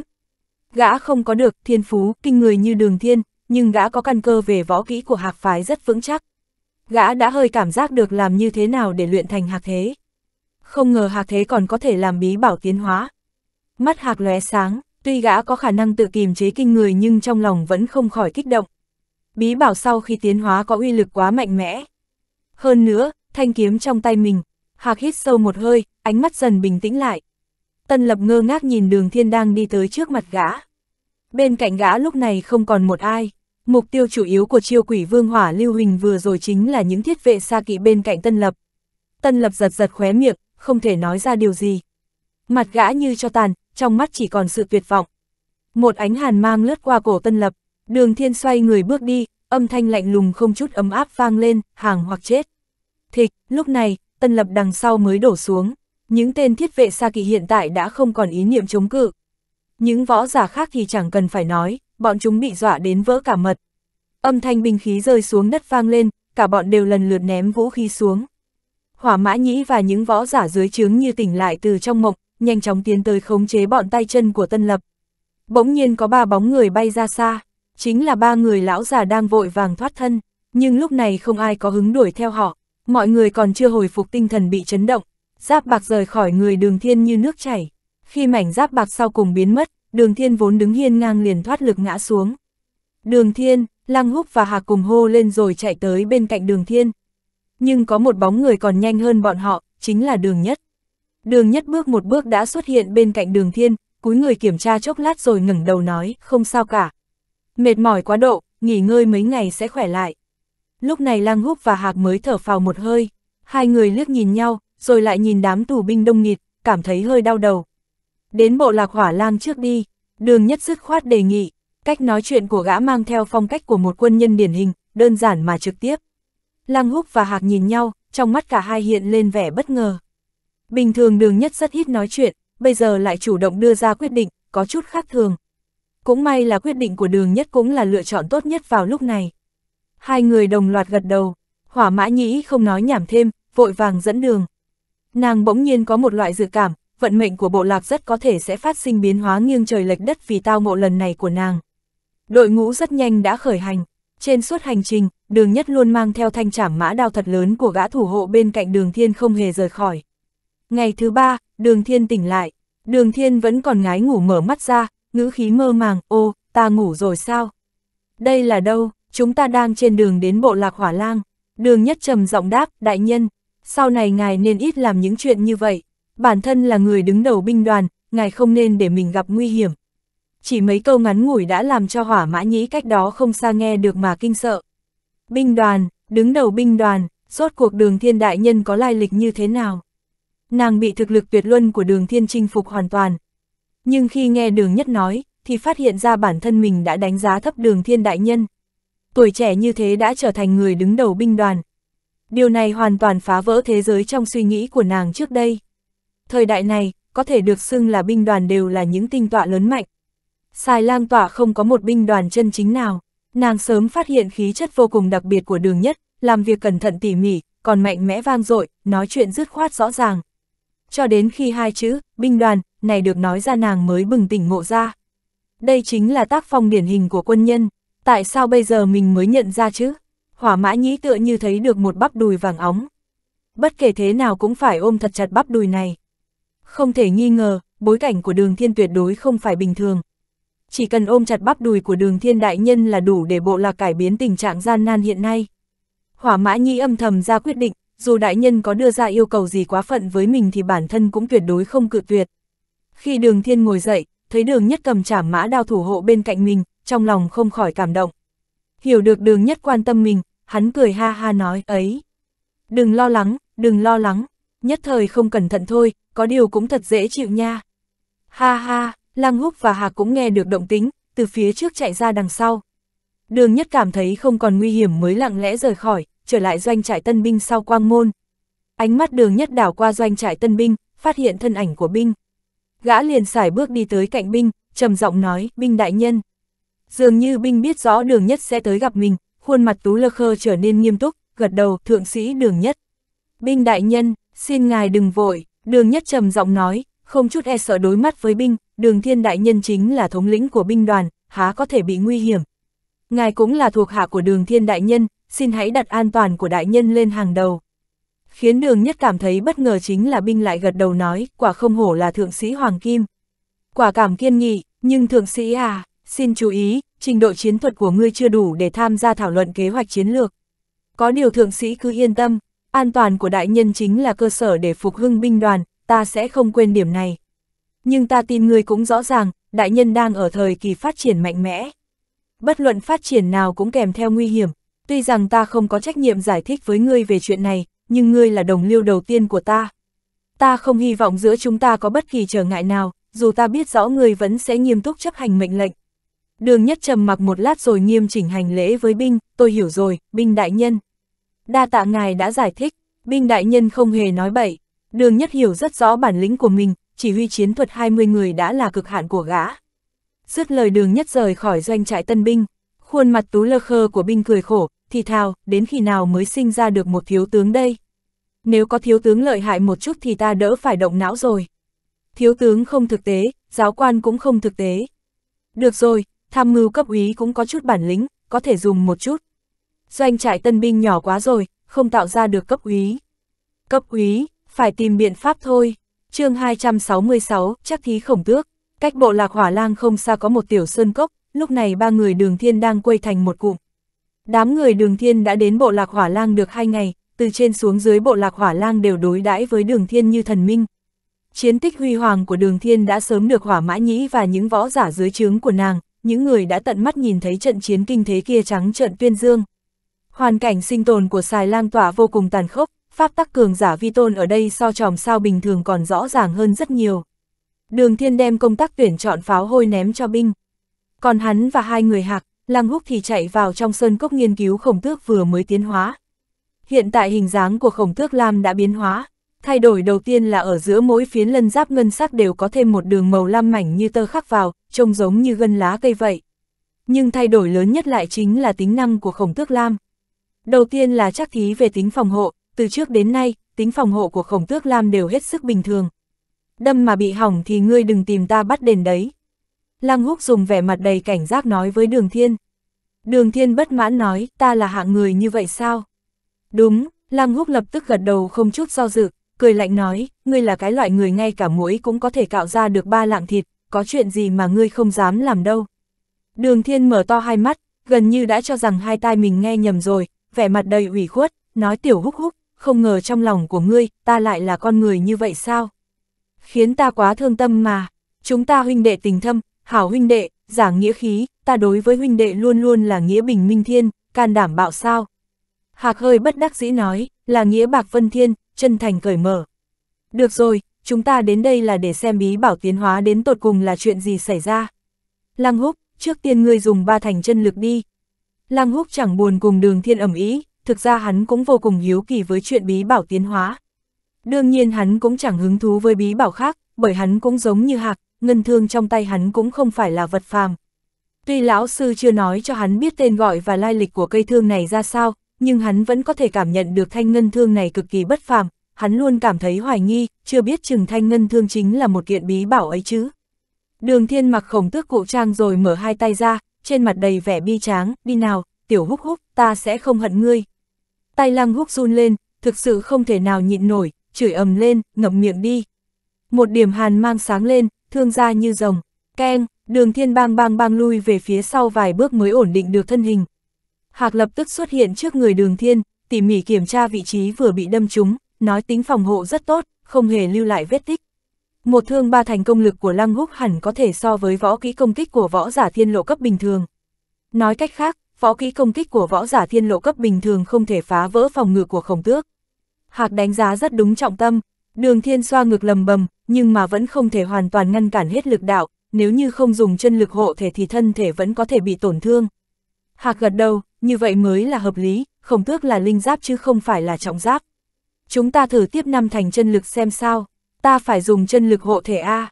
Đường thiên lớn tiếng nói, được, hạc gật đầu, keng, một điểm hỏa tinh kèm theo thanh âm bén nhọn hơn vừa nãy vang lên, lần này thân hình của đường thiên chỉ hơi lay động, chứ không hề bị lùi lại về phía sau. Khi kiểm tra vết đâm có thể thấy phía trên phiến lân giáp xuất hiện những vết dạn, nhưng sau đó một cảnh tượng kỳ dị bắt đầu phát sinh. Chỉ thấy những vết dạn này dần biến mất với tốc độ dùng mắt thường cũng có thể thấy được, chẳng qua màu sắc của cái đường lam tuyến ở giữa lân giáp chỉ hơi nhạt đi một chút mà thôi. Không ngờ còn có cả công năng tự chữa trị, Hạc Thi Thao tự nói. Trong mắt Lăng Húc lộ ra một tia khiếp sợ, tuy hắn không hề cảm thấy hứng thú với bị bảo, nhưng dù sao cũng hiểu một chút về giá trị của nó. Số lượng bí bảo có thể tự chữa trị vô cùng ít ỏi, chính vì thế giá cả cực kỳ đắt đỏ.